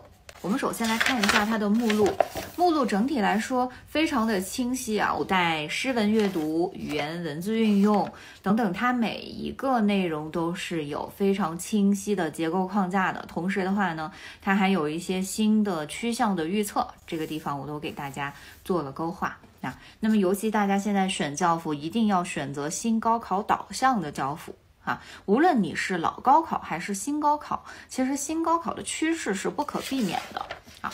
那么第一个部分是真题，那我们会发现它都是分成了两栏来进行排版的。那这个两栏排版的话，最大的好处就是避免我们视觉上的一个疲惫。那我也在想，它是不是所有题都两栏啊？后来发现。比如说有新的地方，就是这道题，它还是很良心的，没有去切断这个呃图片。那么你切断之后有一个问题就是什么？你把它缩在了单侧，会显得非常的局促，而且伤伤眼睛啊。所以从这点上来说，我觉得还是挺暖心的吧，对我们考生来说。那再比如说，嗯。真题完了之后就是模拟题啊，那么模拟题之前我们也看到这个部分啊，那它是我们的简答题，简答题它并没有给足够的空间。那我曾经也说过，不是所有的题你在刷的过程当中都必须是白纸黑字写上去。那锻炼你思维的方式，你也可以是看完这道题之后自己想了一下思路，就去翻它的什么呢？答案解析。那我们接下来就来看一看它的答案解析好不好用啊？首先，我觉得独立成一个分册是非常好的一个呃处理办法。那否则我们翻来翻去，翻前翻后真的是很很心碎，对吧？然后我们直接，比如说翻到这个位置，你就能看到了，啊，就这道题的答案，你就可以对比着上下对比着来看，其实也非常的轻松。尤其是在看完它的文字解析之后，很多同学我相信还是一脑子雾水。那这个时候，我建议你就可以看一看它这个呃书籍附带的视频讲解，非常的清晰。一个视频可能就是一两分钟，那你也能够有一个及时的指导啊。尤其现在大家都在线上学习嘛，我觉得这一套书确实是可以作为一个大家独立学习的一个小的小星球了哈。文言文的部分，嗯，应该说知道难了哈，无论是真题还是模拟题，所以每一道题都给了大家解析，视频解析，然后。呃，包括全文的一个翻译啊，在这点上来说，也是对大家的这个关怀。好，那我们来看一下这个办学讲义究竟是什么呢？啊。这个其实在我看来啊，是给那些对于整个学科没有任何架构啊、没有任何概念的同学，形成一个整体的复习的网络。现代文阅读的部分，那其实你就可以把自己觉得哎掌握的不太好的重点难点的部分，给它高光标注出来，然后它配合以呃导图给大家进行梳理。那再比如说这个部分哈，就是一些重要概念，它不光是讲概念，还讲方法，同时讲的还我觉得比较细致啊，大的干货的梳理。都是以导图的形式呈现，要不然就是以表格的方式来呈现。应该说讲的还是非常清晰的啊，梳理的也非常全面。你再比如说文言文的这个知识清单啊，它在排版上也很用心啊，然后大小字体深浅，然后不同的这个呃字体来进行一个配合，那让我们一目了然的能够查到我们想查的字啊。而且这些知识清单其实就是一个干货，那我们平常呃这个刷题的过程当中也可以来不断的定期的进行一个学习。他介绍到小说的常见手法的时候，我们会发现，哎，他所举的例子其实是从咱们的初中一直举到高中的啊，这样对教材的一个整理整合，然后对教材的重视，我觉得也是教辅书当中难得的一种体现。啊，那这套书就分析到这儿，嗯，大家可以根据需要，嗯，来进行刷题。关注下一章，我们来谈一谈新高考究竟有哪些值得我们关注的导向。下期给大家更新实例，不懂母题吃大亏，那些阅读题里出题人给你挖的大坑。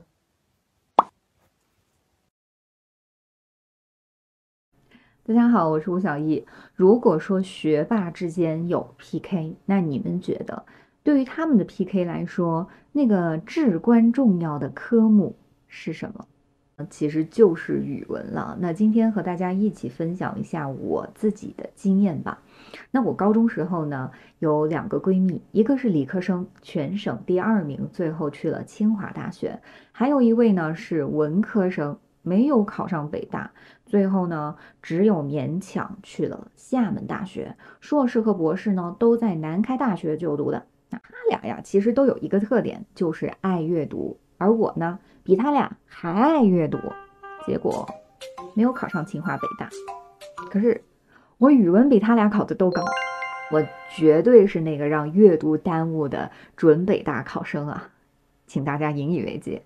可以说最能够拉开学霸差距的就是这个语文选课了，而有效的课外阅读呢，又最能拉开大家的语文成绩。学好语文，写好作文，除了读书，其实真的没有捷径。问题就来了，读什么书？教辅书吗？你给推荐一个。Oh no！我之前其实就说过了，教辅绝对不是提升语文成绩的捷径啊。那就看课外书，读小说吗？不，跟着情节走，单位时间效率实在是太低了。那你容易陷入什么呢？消遣式的阅读，无法自拔。那么课外阅读看什么呢？能够提升语言质感和思维品质的书籍。你就特别想速成，然后觉得这个书你打开看一页你就能成仙，那我劝你放弃啊。那没放弃的，请把这期视频内容分享给更多的朋友。我今天来推荐一位作家的作品啊，他的篇目曾经入选了苏教版高二语文课本，超过了十年的时间。二零二一年浙江高考语文卷现代文阅读就考了他的这个作品，他应该说是一个散文写作的开拓者。独特的风格啊，充分展示了修辞的魅力。和那他的作品呢，也结合了散文的语言、小说的结构，并有大量的科普和哲思。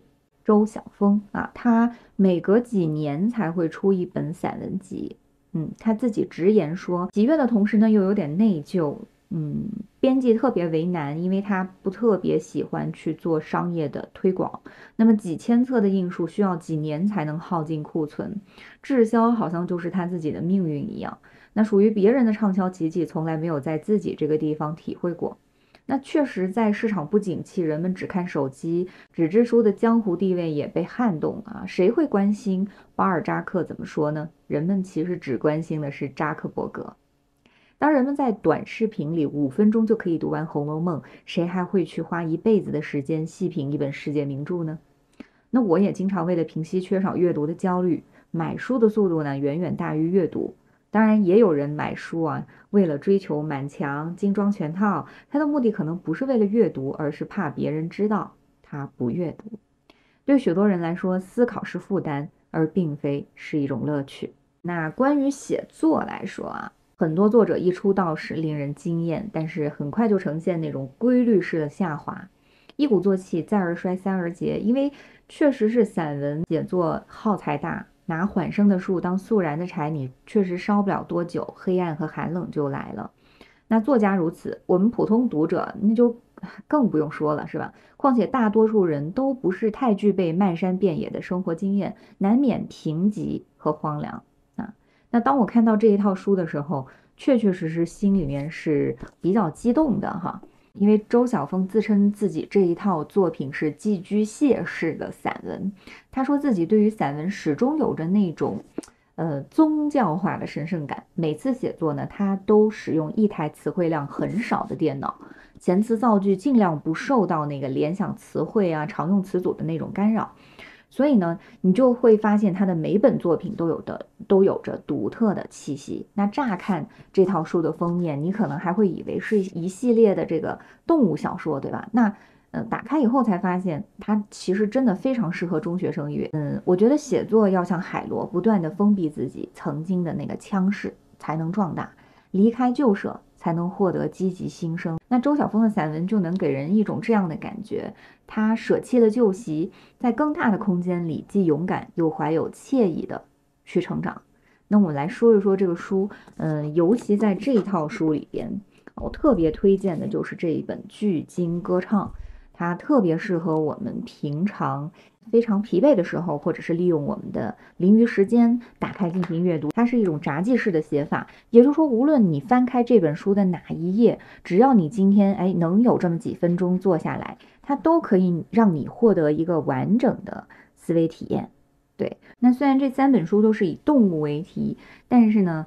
散文的侧重点略有不同，那我顺着和大家说一说。那比如说这本《有如候鸟》啊，它是以缓慢的书写揭示了这样的一个深刻的哲理，就是以给予的方式剥夺对方，就像鸟想把天空交给尾鳍，鱼想把海洋交给翅膀，最终都死于彼此的慷慨。那这个《幻兽之吻》的话呢，用了更多的篇幅探讨的是人与动物与自然的关系。那么这本书里有致命的爱，有致死的美和致残的深情。居金歌唱，这是我呃非常推荐给咱们中学生阅读的。它打破了散文偏重讲述个人的这种模式，向外延展了更多社会议题的讨论啊，对人性进行了深刻的挖掘。这本书应该说从修辞上来说简直是炸裂了啊！它的语言拓宽了散文写作的边界，那也获得了鲁迅文学奖，那非常推荐给大家。还有一本啊，村上春树，我们知道他小说非常多哈，但是嗯，小说我一直觉得我们没有太多的时间去看村上首次对这个世界明确的发表自己的看法。这本书叫《无比复杂的心绪》啊，这也是村上第一次对这个世界发表看法。不要老是去看那些什么的作文素材啊，具有个性化的观点，那它其实也能够激发出你内在的一些想法来。我觉得这才是源源不断的活水。接下来，喜欢古典文学的同学不妨去看一看《文心雕龙》。那这本书主要的特色是什么？其实，如果你拿给我一个没有注释的《文心雕龙》，说实话，我也不愿意去读。那这本书呢，有一个特点，就是刚好就是翻译和原文啊各一段，而且对应的无比整齐啊，特别适合学生去阅读。接下来就是这一本了。那既想。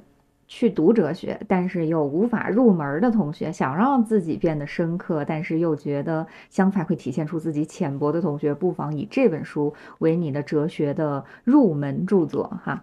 哲学家们都干了些什么？这是一本严谨但是又不严肃的哲学书籍，应该说是一个通识读本啊，特别适合刚上中学，然后想要了解哲学，想让自己的思想能够和这个世界。摩擦出火花的同学，那希望你能够通过一本书会挑一类书，同时呢，也和大家预告我的我主编的这个新书《一线素养名著导读》呢，也即将和大家见面了，我们一起期待吧。嗯，如果你喜欢，欢迎分享给更多人，用科普的方式和大家一起聊教育，聊语文。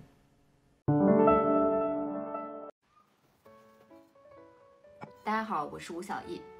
嗯，最近有一个调查研究说，有九成小学生是不喜欢写作文的。背完之后往上抄啊，久而久之思维钝化。明明是思维和语言的积极碰撞，自我创建和情感的抒发，最后它变成了什么呢？一个打卡任务。我想，谁会真正喜欢并爱上作文呢？其实啊，低年级的孩子课标里从没有要求写大作文，大家估计。都被骗了。关于语文教育，网友们一直在和我吐槽：大多数的书读和不读一个样，大多数的语文课上和不上一个样。几十年来，语文教育的大病根，一言以蔽之：无脑阅读，无心写作。那如何破解呢？目前网民们在网上啊，比如说看到一个关键词，他就急着表达，不顾事实开口就骂的朋友，我觉得真的还不如人工智能呢。之前这个胡某宇事件当中的那些谣言，还有粉红头发的女孩遭网暴，对吧？最后人家自自杀了，对吧？不就是最好的例子吗？积累再多，没有内化吸收和思考，没有思维参与，没有学以致用，结合语境去输出，廉价的情绪。满天飞，可贵的逻辑和理性竟然遭到了流量的鄙视。当然，很多人也就自然而然的失去了理性的经验了。而你的人生要彰显理性的光辉，这确实是需要专业训练的。初中写作的主要任务呢，是让我们感受生活，了解自己；高中写作的主要任务是训练我们的理性思维，做一个有责任和有担当的人。但是很明显，过去这几十年我们做的都不够好。有网友留言说：“哎呀，吴老师，我高考语文一百二十多分，我就是靠背出来的呀，背多了我就有写的了呀。”哎，那我回复啊，关于作文，你这不叫写作训练，你这叫读，目的是积累，而我谈的呢是输出。我没有否定积累的作用啊，但是呢，写作作为独立的课程，其中有一个非常重要的点，它一定不是背。啊，大部分人只能浅层次的看到目前写作的困境是基于语词和素材匮乏这个事实，而我呢，植入核心跟大家讨论的是什么？是语言思维能力层面有本质上的区别啊，这其实是极其专业的一个问题，也是语文学科近些年的转向之所在。不明白也不怪你，因为你正处在问题的这个中心嘛，飓风的中心是吧？温如敏先生曾经说：“语文是人文教育，而不是文人教育。我们培养的是社会主义接班人，不是封建文人啊！为什么有人对背作文这个方法坚信不疑呢？我也想了哈，就是所有人都在给你一个强逻辑，你发现没有？就是观千剑而后识器，操千曲而后晓声。”操是什么意思？就是如果说你已经明白了写作原理，就根本不用消耗大量的时间去感知别人的作文，那操直接写啊就能写出成品啊！看再多其实是没用的哈。这好的教育其实就是要缩短掌握原理的时间，提高写作练习的效率。人生没有几块能给你拿来练手的废料吧？拿别人的作文交作业，这既没有阅读的参与，更是写作上的作弊，本质上是自作聪明。那下一期我们说说具体该怎么破解，怎么去做吧。关注我，我是吴小艺。大家好，我是吴小艺。上了学你们会发现，最大的骗局就是课表上的自习课。我说实话，最可恨的就是那个早读。早读所有人都得来早，而且班班都在 PK 比谁来的早，然后来来的早呢，领导还会表扬，你知道吧？一表扬，哎，那比如说今天是七点五十啊，全班就到齐了。另外那个班呢，下周的七点半到，另外那班六点五十，在那个班六点半、五点半就就就全起飞了，就简直是。苦的是谁呀？你苦的你也是学生，因为你们永远要比老师到的早才行，对吧？老师来是来点名的，你们必须在老师之前就到啊。有老师啊也到的早啊，这可亲可敬可爱。没办法，为了这口饭吃，这早读我真的是最不理解的，就是在那个早自习上啪啦啪啦背数学公式，啪啦啪啦读一串自己都不知道在读的什么东西啊，什么书啊，这美其名曰什么呢？加深印象啊，就是让你的记忆力就是在早读期间飞快加工。我想说，你觉都睡不够，你上什么早自习呀？你有那个时间，不如多睡一个小时的觉。有多少同学是真正睡满七个小时的？可能大部分同学也就每天睡六个小时，我保守估计。那你睡六个小时，你早上起这么早，你那早读能有效吗？我不管你读什么了，你读公式定理，你背离骚，我告诉你，你现在哪怕背《金刚经》你都没用。你那大早上来，脑袋混沌一片，盘古开天辟地呀你！你当我们都是盘古啊？谁知盘中餐，粒粒皆辛苦啊！论种地也没这么早起的吧，所以拼命的学，学不死就往死里学，太残忍了。但是这个残忍背后呢，其实是我们内驱力的丧失，就是你根本没有时间去内化吸收。就是自己在学习上应该去处理的那些东西，嗯，就是更不用谈什么费曼学习法了，然后记忆深加工了，你没有时间的，你一切都在做重复的无休止的机械式的劳动。你们是这样，家长是这样，老师也是这样，那这样能培养出比人工智能还优秀的人类吗？这是很值得怀疑的。以我的经验，你的自习课几乎就变成了什么？好则变成写作业的课，坏则变成什么呢？几乎就是语数外老师把这课给要去拿来干嘛？赶进度上课去了，有没有呢？但是说我这自习课就确确实实上的是自习，老师什么也不管，反正就让我们把作业赶紧做完。有同学也未必把作业做完，对。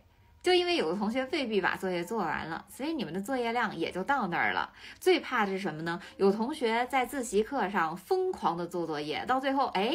自习课结束了，作业全都做完了，你们就卷起来了啊！你们就有无休无止的作业要做，啊，这作业啊，一定不是做完就没有了。我告诉你们，作业在老师这儿，那你是越做越多，越做越有哈。所以呢，内卷既然是这样卷起来了，你会发现，自然而然，你的老师呢也就开始着急了。为什么？因为这一科的作业已经做完了，那回家就可以再留半个小时。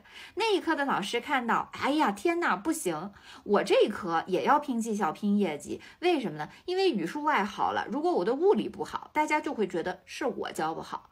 那拼命争取时间干嘛呢？无外乎就是多布置你作业，多拿时间来考试啊，多考几次，老师也就安心了。你成绩好的那科，无外乎就是老师投入时间投入的多，对吧？管你管得紧一点，你就把它给学好了，投入时间多，但是真正。你能够在这个学科上获得多少灵感，获得多少学科的思维，那咱就不好说了。但总之啊，有一点非常致命的点就是，你不知道为什么要学习，你甚至也不知道哪一科学习是你喜欢的，你只知道你哪一科成绩好，哪科成绩不好，你也甚至不知道你学习究竟是为了什么，甚至你不知道这个学科的明天是什么。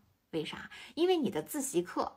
本应该是自我学习、提升、温故而知新的，现在这自习课变成了什么？变成了赶进度啊！你以为进度赶完了就能够解放了是吧？No，上课进度赶完了，依旧迎接你的是考试刷题、讲题、考试刷题、讲题的循环。所以你以为老师轻松吗？老师也不轻松，因为老师也没有时间回去消化吸收这些内容，他只有照本宣科。所以，为什么这个世界上出现了很多 PPT 式的老师，出现了很多念教案的老师？因为他们确实没有时间去反思自己的教学，他们只是一味的在应付教学，为了完成自己的基本的业绩。所以呢，只有死抠你的成绩，而抠的是那些什么呢？最好提升的死题。啊，只要每个同学把死题都做对了，一个都不做错，那这个是可以靠时间耗得来的。而那些高思维能量的、高思维能力程度的题，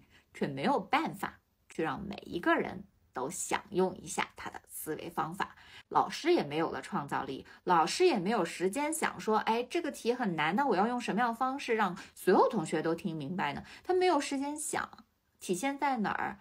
他明明晚自习，听好，也是自习，对不对？你们有多少晚自习是真正的在写作业、在温习功课的？没有吧？全是老师在赶课，所以老师在赶课，他就没有时间消化吸收，他甚至连看闲书的时间都没有，他更没有时间给他的爱人、给他的孩子回家去做一顿饭。那他的创造力何来呢？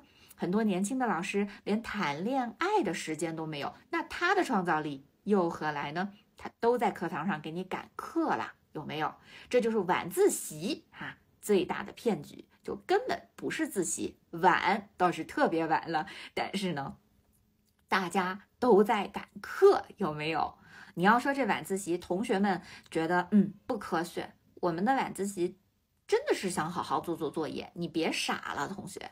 如果真的晚自习是所有人都在做作业，你的作业做完了。我可以告诉你，你的作业就真没完没了了。因为只要你把作业做完了，会有无数的老师再给你添加回家的作业，所以你回家睡得会更晚。你还好在啊，这个晚自习是在上课，而且最重要的一点，你家长也很支持啊。晚自习上课省了我补课的钱了，因为上课总比自习好啊，对吧？这充分说明家长不信任你啊。不觉得你是可以在自习课通过自己的努力学习到知识的哈，所以最根本的，你看家长也不信任你，老师也不信任你，老师也不信任自己，家长更不信任他自己，让你回家来自学啊，或者他辅导你，他完全没有这个勇气，所以现在就造成了你被所有人抛弃，抛弃在自习课上，然后呢赶进度啊，赶完进度呢一个恶性循环啊，就继续刷题，就是低效的重复。再来看，这最没劲的，也是大家最讨厌的早自习。早自习就在比哪个班起得更早，哪个班到校时间更早。然后早自习干什么呢？也不是自习啊，早自习是全班统一在背书、在默写、在写小条子，然后老师收上去批改。然后不对的同学呢，课间老师会见缝插针的来找你，所以你有可能每一个课间呢都不要喝太多的水，因为为什么呢？要憋尿，知道吧？你憋不住的话，老师来找你，你没在，那你就严重了，你就要中午留下来，或者是晚上留下来。天哪，就是死恨绵绵无绝期，知道吧？所以。真的很惨的，现在的同学每天从早到晚，一点思考自己的时间都没有啊！那谈何内驱力呢？谈何自己的人生理想呢？然后你们的课表上的所有的课如此的虚假，如此的虚伪，所以我真心觉得讲到现在我已经喘不上气了啊！所以咱们可以回过头来看一看啊，如果是让现在的家长和老师当现在的孩子，你们愿意吗？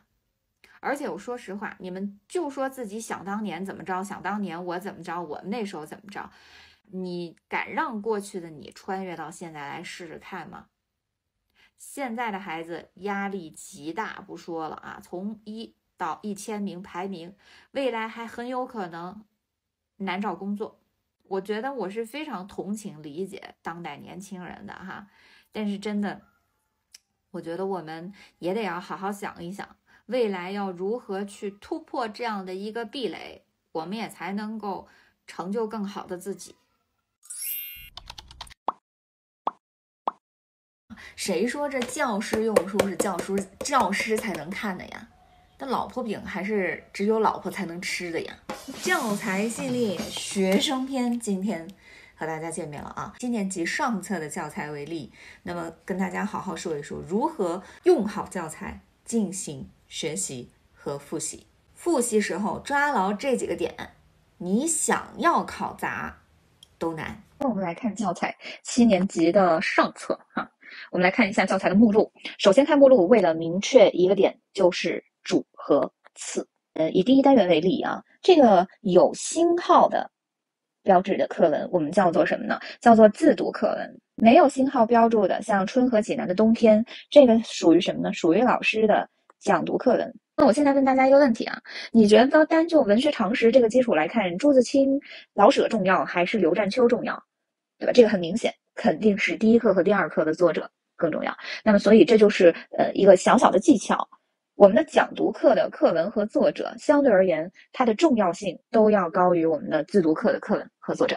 好，那么你通过看这一整册的教材。目录，我们就可以发现，哎，哪些作家是重点要我们掌握文学常识的？再拿第二单元来看，《秋天的怀念》还有《散步》，史铁生、莫怀哎，你说散文诗二首重不重要？哎，它有泰戈尔和冰心的文学常识，也还是比较重要的。那么，究竟哪些重要，哪些绝对的不重要？我想大家可以参考一下历年我们其实都会给大家这个重点掌握的作家作品哈，也会给大家梳理出来干货。第一单元为例，我们还是看第一单元啊，这个古代诗歌四首，这四首诗是一定要去背的。我们到时候一会儿，我们到时候根据课文内部教材来看，应该做怎怎样的一个细化的学习和复习啊？那你看到第二单元的一个构成，第二单元是文言文这部分的内容，都建议大家能够尽早背完的就尽早背完，然后怎么背，不是死记硬背，而是在理解的基础之上去背。所以，当我们看完这一呃这一整个期上的目录，我们有三个任务：第一个任务明确主次，然后第二个任务我们需要去反复。落实好，最后那就是要优化你的笔记。我们怎么来把自己的笔记优化？然后这样的笔记才能真正的适合你去提升自己的呃基础知识和能力哈。这样是一目了然，就能看出，就能筛出一个比较重要的点来。那你对于熟悉的作家，其实也是我们常考的。那对于一些比较生僻的文学常识或者是作者的信息。啊，比如说这一篇，这一篇，对吧？我觉得就是了解就可以了啊。然后一定要对应好这些作家他们的朝代、他们的作品以及他们作品的题材，以及对他们作品集的概括和评价，这些内容都是不能出错、不能张冠李戴的啊。那接下来我们以单元导读为例，来看一看第一单元的重点有一些什么。下面这个要求的话呢，是我们同学复习的要求，可以这样来讲。那么我们在复习的时候呢，要做一些什么事情？想象文中描绘的情景，想象情景。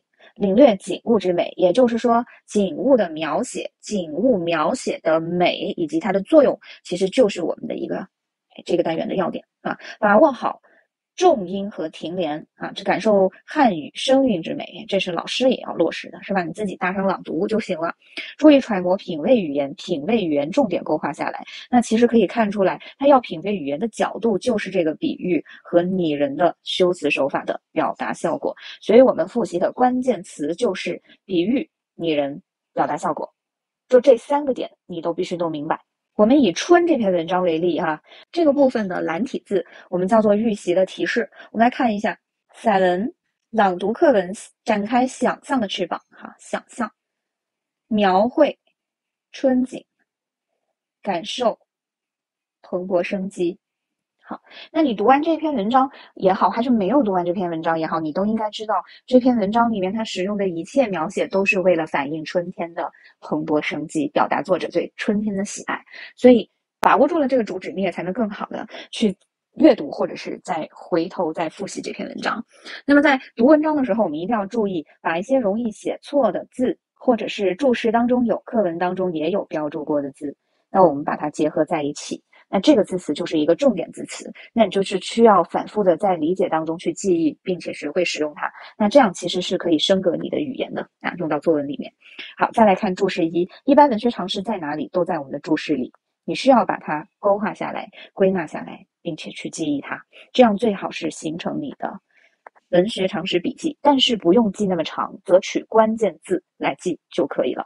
好，同样的，我们看一下这些关键的词，都是容易写错的。那么遇到关键词之后，每一课的关键词如何处理呢？不光是勾画下来，还需要反复的在考前去听写。听写完之后，找到自己容易出错的。那么初一的话是有田字格的，嗯，可以对应着把字也给练好了啊。在这个地方注意一下，如果有考到书写题，我们使用的字一定是正楷啊，反复的去听写，去默写。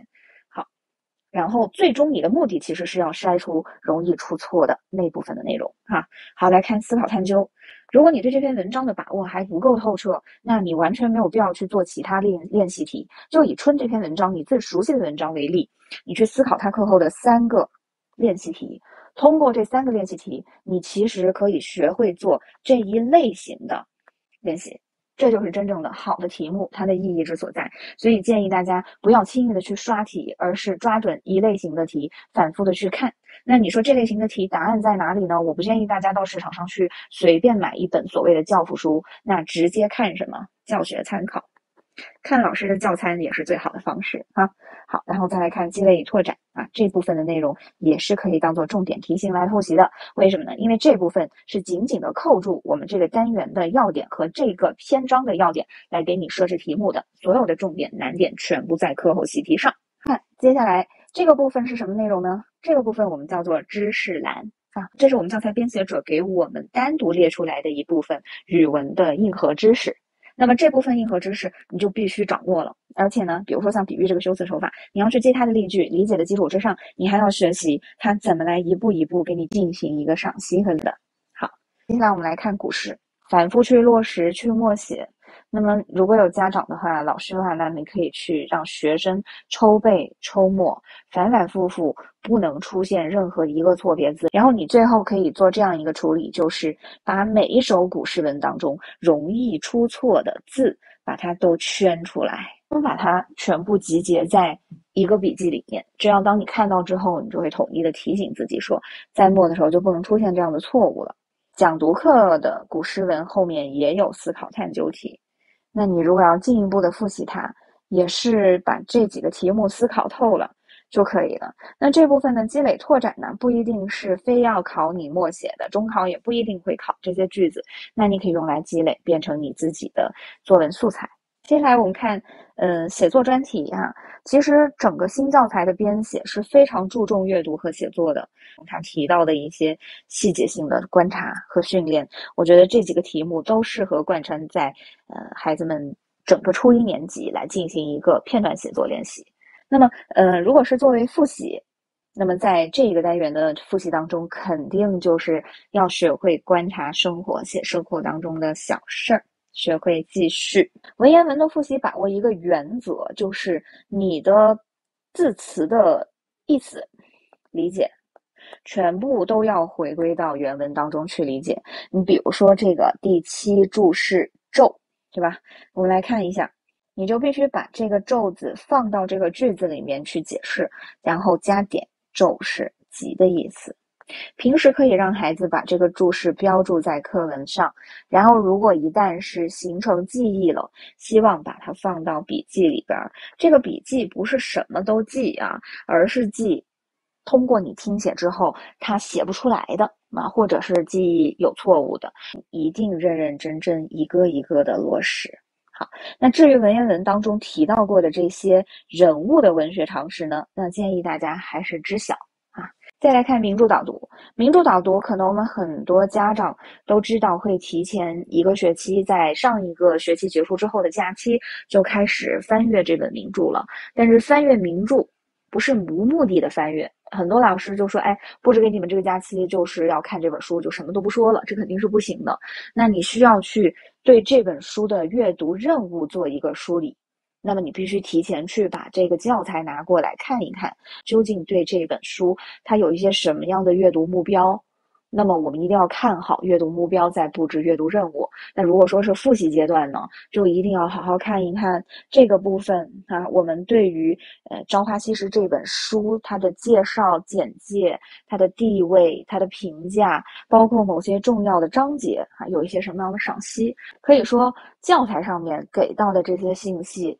都是一些要点，但是它不一定直接会来考你这些要点。有一些省市的中考更偏向于细节性的考察，而有一些省市的中考题更偏向于阅读方法的考察。所以这个根据自己的中考的考情来进行一个复习备考就好了。但是总之告诉大家，这个部分的内容读就是读，懂就是懂。否则如果你不读不懂装懂这块内容，你也是拿不到满分的。一定要有真实的阅读哈。好，然后接下来我们来看《雨的四季》自读课文。那自读课文怎么来判断呢？你看，一个是我刚才说加的星号哈，在目录上，还有一个就是我们的自读课文旁边，你总会发现会有一些批注，会有一些问题。那么这个部分，我们专业的说叫做助读系统，啊，来帮助你去完成这篇文章的整体阅读。所以这样的课文虽然是自读课文，但是我们也从来没有说过自读课文不重要，而是自读课文是运用前面这个单元前几课学到的方法，那你综合运用到这篇文章当中，自己去解决一些阅读过程当中的问题。这本书推荐给大家啊，教师教学用书，谁说这本书只能老师用的，是吧？你你我也推荐家长和同学复习的时候，在这本书里面找答案，因为这本书里面的答案相对而言它还是比较权威的哈。人民教育出版社来编著的啊！你不相信它，你相信什么呢？好，复习落实总结三个内容。第一个就是知道这册书的主次，同时呢，反复落实最重要的东西。那什么东西对于你来说是最重要的呢？你还要做个性化的笔记，所以叫优化笔记。不是上课老师记的所有都是最重要的，而是你要筛选出来对你来说最容易出错的那部分内容。教材上的基础已经占到了考试的七成，如果你能够把这七成分都拿到，你的阅读写作能力也在线的话，你的语文基本上是非常高的分了。我们经常发现语文考试考不好的同学，多半是在于他根本就不知道要落实什么样的基础。那语文成绩应该说是所有学科当中最容易稳定住的。那么最后的话，再给大家推荐一个内容哈，也就很多同学说，那我基础已经没有问题了，我要提升我的阅读和作文，我不能只是靠教材，那我要源于教材，高于教材，我怎么才能把我的阅读和作文的底子给打好，助力我的高考呢？我推荐给大家我的作品，大家可以看一下我的目录上的内容。前半部分都是在告诉大家如何建立阅读的整个的一个体系，从文体的源头来追溯，那么就可以让大家有一个非常深入的由浅入深、由深入浅的认知。然后呢，再运用到我们的语文学科的学习当中，告诉大家如何去进行一个备考，而且是俯视高考的角度啊。所以这个书推荐给大家，可以好好再去看一看，是有非常有助于大家去进行一个整体的语文学习和规划的。然后下一期和大家分享高中复习备考的内容。如果你喜欢，欢迎关注我，吴小艺带你一起上分儿。Hello，大家好，我是吴小艺，今天和大家聊一聊咱中学老师最喜欢什么样的小学毕业生。中学老师其实最喜欢教小学就被培养出叛逆人格的学生啊！有人说为什么你会喜欢这样的，是吧？我首先我很喜欢这样的学生，为什么？一会儿我说理由啊。但是大部分老师我相信喜欢的是这样的小学毕业生：守纪律，懂礼貌，有理想。会疼人，每天按时交作业，不丢三，不落四，不惹事，不生非，也不自卑。如果所有学生都这样，那我问，要你中学老师干嘛？要你老师干嘛？你还能教育啥？是吧？这类不招人喜欢的学生都有什么特点？他们为什么会变成这样？就是丢三落四，说明这个孩子没有自主意识，他以父母经常为中心，哈，惹是生非，说明他没有集体意识，经常以自我为中心。而悲悲戚戚、很自卑的学生是没有目标意识，总是以他人为中心，是吧？我们好好思考一下。那有机会我们也说说这三类孩子要如何教育。我为什么会非常喜欢这种小学时候被培养出叛逆人格的学生？那我说实话，小学时候就讨厌小学老师的这些学生，他们都有一个什么样的特点？第一，说明他有主见。他为什么叛逆你？证明他有思维，他不同意你的做法。第二，他又有点没找得到自己，哈。那其实对于这样的学生，第一，用爱和智慧来感化他，那我觉得他会特别的服气你。第二，你能够看到他身上的闪光点，那么你就彻底赢得了学生对你的尊重。我就想说一说，为什么从小学上来学生有的我们会有这样的一种叛逆人格啊？我们老师把学生想的真的太。白了，你知道吧？就觉得他什么都不知道。我们作为上位者，什么都可以颐指气使的对学生。学生那个时候小，他不会反驳你，但是他内心里边已经种下了一颗叛逆的种子。这个时候他就会把对你的这种印象去搬到哪里？搬到中学老师这里。然后结果发现中学老师不是这样的呀，他突然之间对你好感倍增，有没有？我举一个例子，如果班里面有学生没有带文具，没有带书或者学习用品，你统一一个做法就是去回家拿，打电话让家长送过来。好，如果你都是以这样的一种方式无区别的对待学生，那么以后到了中学，其实我们中学老师只用做一件事情，就是，嗯，好的，这一次没有带的话，那，嗯，老师把书借给你吧。同样的一件事情，我的一个学生惊呆了，老吴，可以吗？我可以拿着你的书去吗？我可以啊，没事啊，你我我借你我的书啊，很正常啊，我也会忘记带这样或者是那样问题的时候啊，所以，学生拿着书的时候看了我几秒钟，惊呆了。哦，结果这个学生真的在我的课上再也没有忘记带过书，反而有一次是我自己书籍忘在了食堂啊，走得太快，然后我就非常坦诚的跟学生讲，我说实在不好意思，老吴今天没有带书，谁能够把书借给我看一看？我的书忘在食堂了，走得太急，全班都把书。那这个班是怎样的一个构成？我们每个班的倒数五名，然后放到了我的班里啊，这个很酸爽是吧？Hello，大家好，我是吴小艺。最近的话，应该说很多朋友都特别希望我能够分享一下我是如何让那些不爱学语文或者不爱学习的孩子提起学习兴趣来的。好，那今天我跟大家就分享一招，一件事，然后看一看能不能获得那么一点点启示，好吧？还是老规矩，十个赞我就更新下一期，继续出招。好。那今天说的是让恨死语文的孩子爱上语文，还要学好语文。那我究竟做了什么事情呢？可能我们有很多老师才接手一个班啊，或者才见到一个新的班级的情况的时候，你们总会拿到学生的一份名条，而这份名条上边其实是有他的过往的成绩的，甚至是过往的老师对他的评价的。我不知道你们。用什么样的方式来处理这个名条和过往的成绩？如果有方式，可以抛在公屏上。那我可能会和你说，那你就假装不知道有这个东西吧。可是这么多年给我的启发是，我根本就不 care 这个东西，我不在乎它。哈，那你如果知道了，你都宁可假装不知道，为什么？因为这个东西它会使你对学生在一开学的时候就产生一个极其可怕的刻板印象。但是孩子其实是在成长和发展的。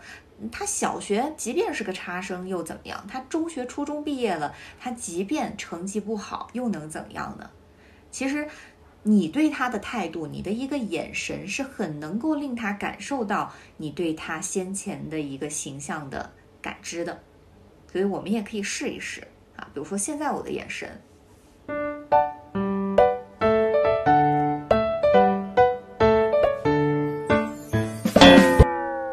对吧？就是轻微的这样的一个变化，你可能都会觉得，嗯，好像真的是不太一样，是吧？所以我就希望我们老师不要因为之前的这样的一种印记，然后呢，影响了自己的心情，同时也影响了对他的反馈。那我举我其中的一一届学生的例子，呃，我当时是既是教科研主任，然后同时的话又是备课组长，带着两个毕业班。我那一年非常的忙，但是呢，不光是年级上的培优班要带，年级上还有一个非常可怕的班，叫做辅差班，我要带。那这个班是怎样的一个构成？我和大家说一说，是每个班的倒数五名，然后放到了我的班里。啊，这个很酸爽，是吧？我第一天推开门进到那个班，所有学生要么是在打游戏，要么在吃东西，要么在。要么就是在哔哩哔哩干杯，对吧？啊，我真的就是凉凉了。但是我突然间发现，哎，他们有一个爱好，我竟然发现有三桌子人都在下五子棋。这我就想了一个办法，你们不就是爱下五子棋嘛，是吧？然后写不出来作文，然后也不愿意背诗。今天姐就借一个五子棋来，我就借了一个那个学教人下围棋的，你们知道的那个非常。高档的那个器材，然后我就把它放到了教室。我说行，今天老吴就让你们上台来 PK 一下五子棋。可是我有一个要求，就是你们每下一颗棋一定要背一首古诗。也自然到点，一句不二十子接着。横看成岭侧成峰。诗呢？横看成岭侧成峰。好。眼睛高低各不同。上相逢临平平心传意报平安。这个这点诗是太恐怖了。我都看你啥时候能下出来。真的。嗯。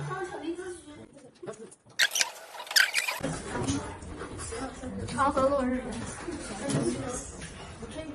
不红不是无情。看都趁你更护花赢了得了还。棋下对了，诗也得。写对了，第一波先自愿来，第二波就我点名来。好，那个跃跃欲试啊，就开始上来下棋了。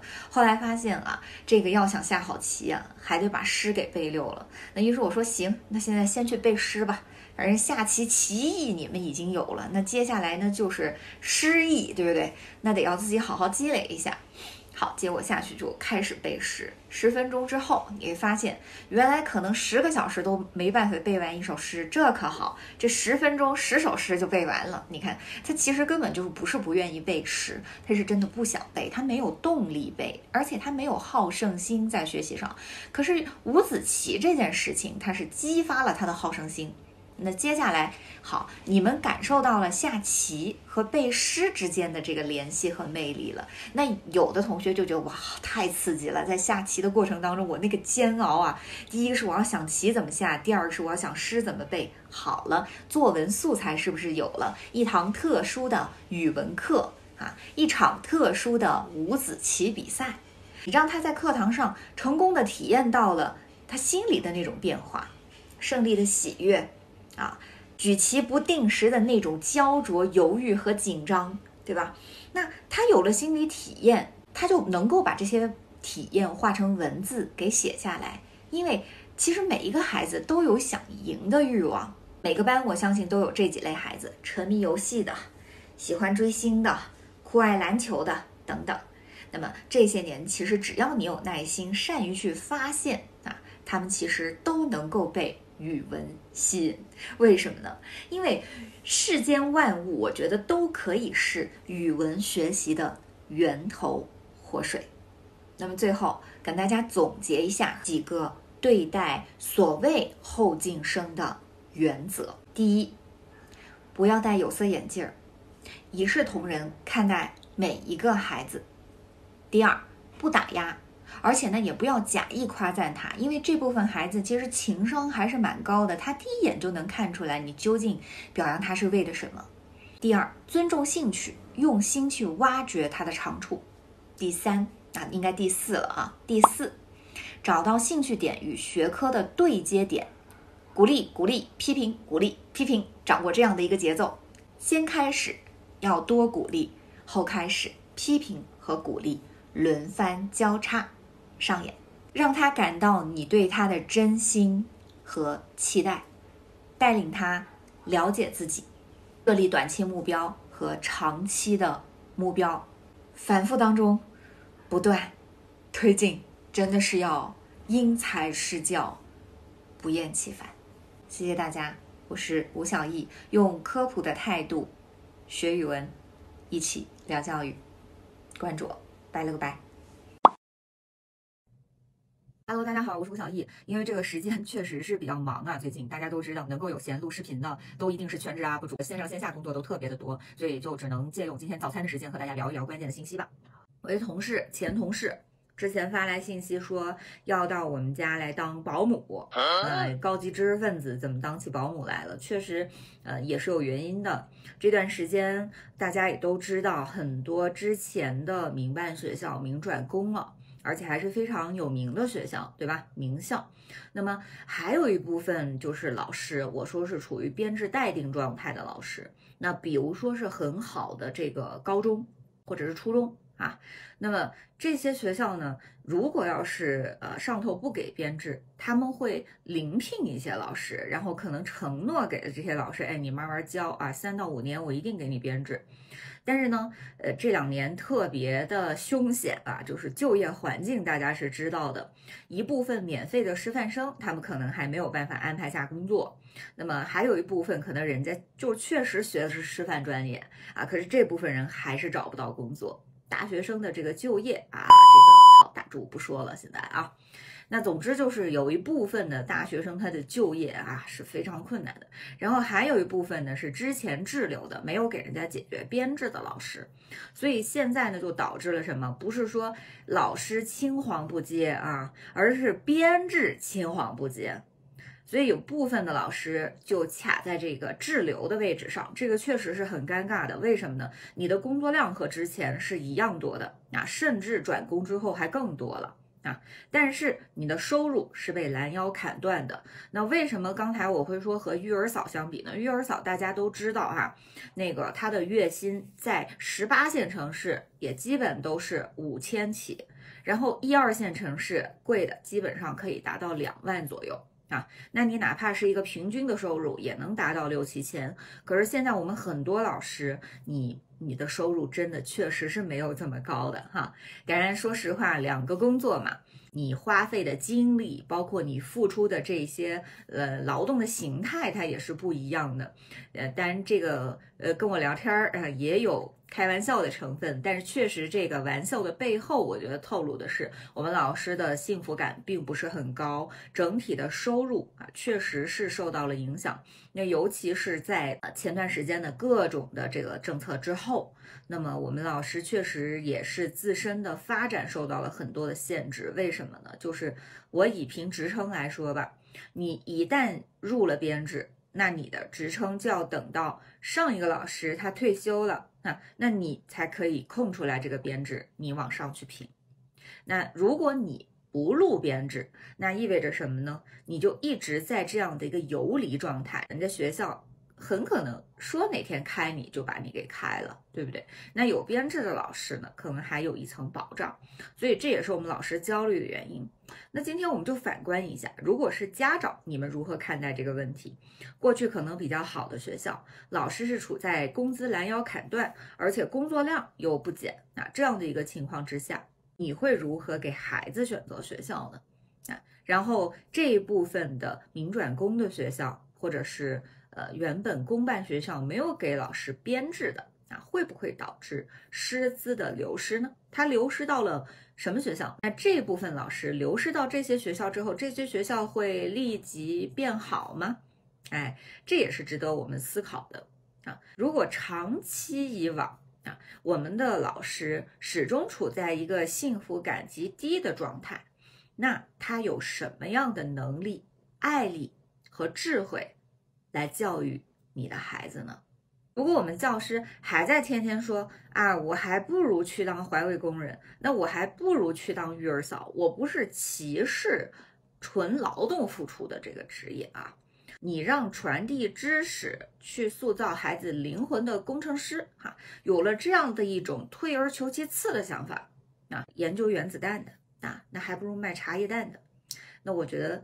呃，这个教师就真的是越干越寒心，越干越心凉了。长此以往，肯定会影响到大事的。啊，我们的老师如果是卡在这个中间啊，你的编制还没有，那我觉得你也要谨慎的看待，是否是这个长把伞要一直扛下去，还是自己想一想，反正未来大家同样都不好找工作，那不如你现在。就好好去趟一趟这一滩更大的海洋啊，看看能不能勃起一点浪花。反正终归三十五岁之后，任何企事业单位也都不会招，尤其是女性啊，这是非常非常尴尬的啊。所以，唉，真的只能一声叹息吧。祝大家好运。下一期和大家说一说咱们考编和应聘。教师们需要注意的一些问题。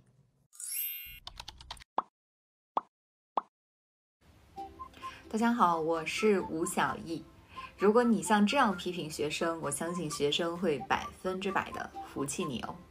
首先提到批评学生，首要的原则是什么呢？就是不该批评的时候啊，真的别瞎批评，因为话多不甜嘛。总是批评你，就会变得婆婆妈妈。而且，一个婆婆妈妈的人，其实你在孩子心目里边是树立不了自己的威信的。那么，今天我们就说一说，在学生的日常学习生活当中，如果他犯了错，但却在找以下三个借口的时候，你一定要严厉批评。当然，也有技巧。我们来看第一个，我忘记了。我们一般的老师。怎么回应呢？你忘了？你除了吃饭，你还能记得什么？你怎么不把自己也忘记带到学校来？其实，说忘记的同学啊，本质上我们想一想，其实是你没有强化信息的习惯。忘记了，不是故意的，我是不小心的，等等啊，这些你都要告诉他，其实都不是理由。那你总是忘事儿。那你自己要学会总结原因。那么接下来我的建议策略是提供方法给他，比如说你总是忘记这些事情，那你使用便利贴，你调闹铃，同学之间相互提醒，甚至是有带有惩戒性质的相互提醒。第二，我真的不是故意的，你不是故意的，你是有意的，说句对不起就完事儿了。这世界上哪来那么多对不起？记住了，没有后悔药哦。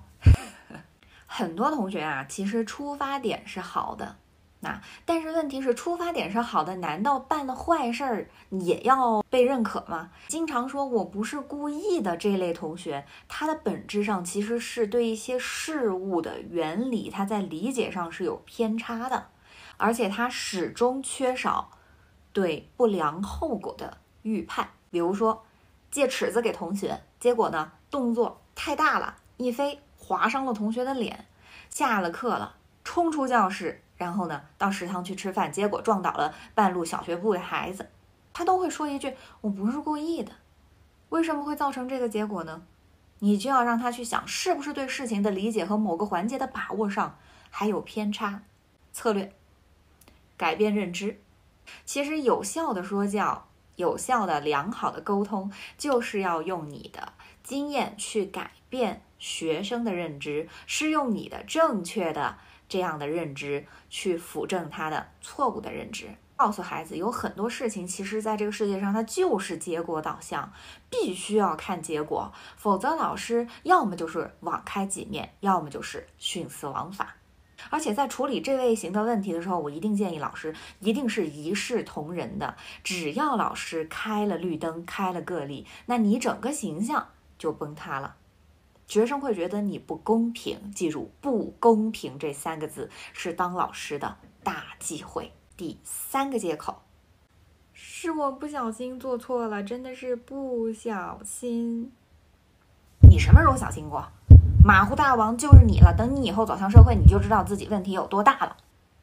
这个不小心做错了，其实本质上来说，还是孩子的注意力和熟练程度不够。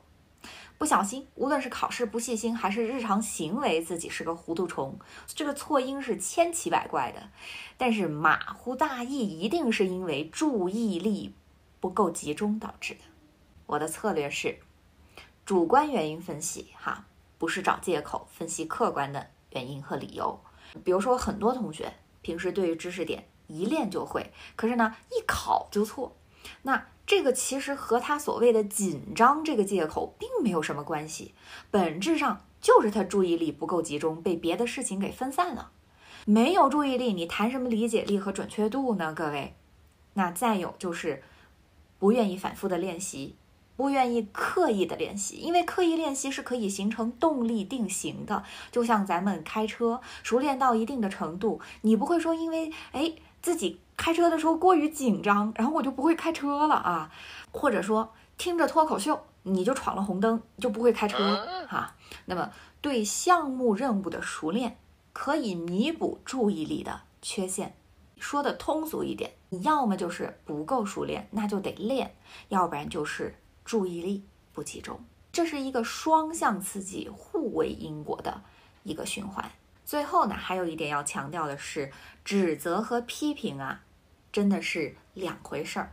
批评主要是帮助孩子辅正自己的认知错误，然后教他实际的方法去解决问题；而指责呢，就是单纯的情绪发泄。刚才大家也看到我演了，对吧？让孩子呢感到气愤、沮丧。其实这种气愤和沮丧是成功的抵消了他内心的愧疚。教育最难得的，其实就是让受教育者有悔过之心。谢谢，我是吴小艺，用科学的态度、科普的方式研讨语文和教育。关注我，下期见。初中很多老师为了抓成绩，有没有做过这样的事儿？就是一本书发下来，这学期开始了，先把古诗文全讲完，然后让你干嘛？背诵。然后考试的时候一个字都不许错，确实这个班的整体成绩，哎，他就上去了，对吧？大家好，我是吴小艺。大家都知道，我曾经的话是全国一所百强中学的语文科代表，后来呢，如愿实现了年少时的梦，成为了一名语文老师。再后来呢，就当了科研主任，现在又成为了签约作家。所以今天呢，我想说关于语文学习，我呢还是有点民间话语权的吧。首先，我们先来了解一下，为什么你从初中啊，可能升到高中，你之前的语文成绩还不错，但是到了高中，语文成绩却如车祸现场，惨不忍睹。究竟为什么会导致初高中语文学习脱钩呢？呃，学习方式为例。初中的语文学习要想提分，那是背默为主，实际是王道。尤其是很多的语文老师，为了让班里面的整体成绩获得提升，基本上就是放开现代文不讲，有没有？直接每一学期开始就先把古诗文给讲了，让你背的滚瓜烂熟，考试的时候一道题都不许错，对吧？那其实这个是老师提分的一个基本的办法。比如古诗赏析这种题啊，初中靠背啊。那又是实际层面的，而高中呢靠赏，这是赏析层面的。如果一首古诗你连读都读不懂，那你谈何赏析呢？初中你翻译了就能读懂，初中的诗不就是春眠不觉晓啊？唯一难读懂的就是那花落知多少嘛，对吧？高中每个字你都认识，但是它合成一首诗，你突然间发现姐就是读不懂，姐就是读不懂。整首诗在我看来可能都是行为艺术。什么叫闲敲棋子落灯花呀？你要理解花落知多少的情感，你还要理解黛玉葬花这种行为艺术，这种闲敲棋子落灯花，它背后深藏着的情绪和情感。你遇到过脱口秀大会全程看下来不笑的人吗？一说明这种人不看娱乐八卦，第二没有生活经验，对吧？那其实诗歌就是一个读梗大会。初中你如果没有遇遇到一位能够教你上天入地之法的语文老师，你高中确实是难了。再比如说作文的问题，那就更突出了啊。过去在初初中啊，苏轼、欧阳修、李清照排比句张口就来啊，还。屡试不爽，发现高中这么写得不了高分了啊！找素材去背了一堆，可要么是不会用，要么就是太牵强啊，不得要领。为什么？你想一想，你的语言背后有多少含金量？有思维参与吗？神州登月和张桂梅老师他有什么联系？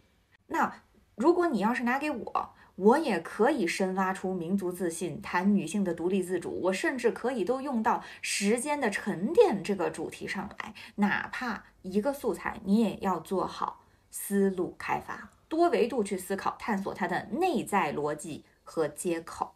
像小朋友玩的那个雪花片啊，看一下，你的接口越多，你思维发散能力就越强，证明你的这个素材被开发的就更到位。对吧？你考场写起作文来也会如鱼得水。那你问我是怎么思考的？那我会告诉你，我是天生的。你是不是更绝望了呢？其实啊，就是读书读来的。那读书的视频老吴更新了一期又一期，对吧？希望你多看一看。那我们今天呢，先来说一说怎么学吧。啊。首先，立德树人，你必须吃透啊！这是选拔人才的这个风向标啊！各位，你有担当、有责任、有理想、有文化，还要充满着民族的自信啊！以这样的形象出现在日常学习中，更重要的是，你要秉持这样的信念出现在你的考试答题当中，因为你是这套题的作者。别怪我没有提醒过你啊！总的学习原则：自主、自律、自悟。看小说哈，自律和不自律的区别非常大。如果你是一个自律的、懂得去学习的人，那你看小说不会流于情节的娱乐性，而是从语文学科的角度去赏析这本小说。这个东西啊，全靠自律。那你在读的过程当中呢，还要去悟啊，把你这个体会变成自己的营养。学霸之间的竞争确实在于语文，那语文的卷王其实就是文学类的文本。你为什么考不好？不怪教材，不怪老师。我今天说句实话，因为它真的不是常规意义上的高考题。你就好像，嗯，数学的那个压轴题啊，你如果会微积分。就会很容易把它解析出来，但并不是每一个学生都会，每一个老师都能把它通俗的讲解清楚。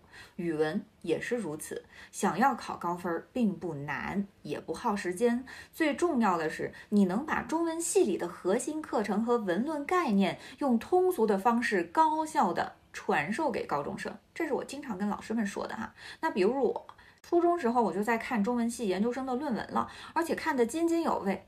如果真有学霸脑，我想这就算是其中的一种表现吧。你一定会说，我爸妈是不是就教中文的，是吧？我告诉你们，和中文系半毛钱的关系都扯不上。我爸爱看知音，我妈爱看读者。同学问，这算不算超前学和降维打击呢？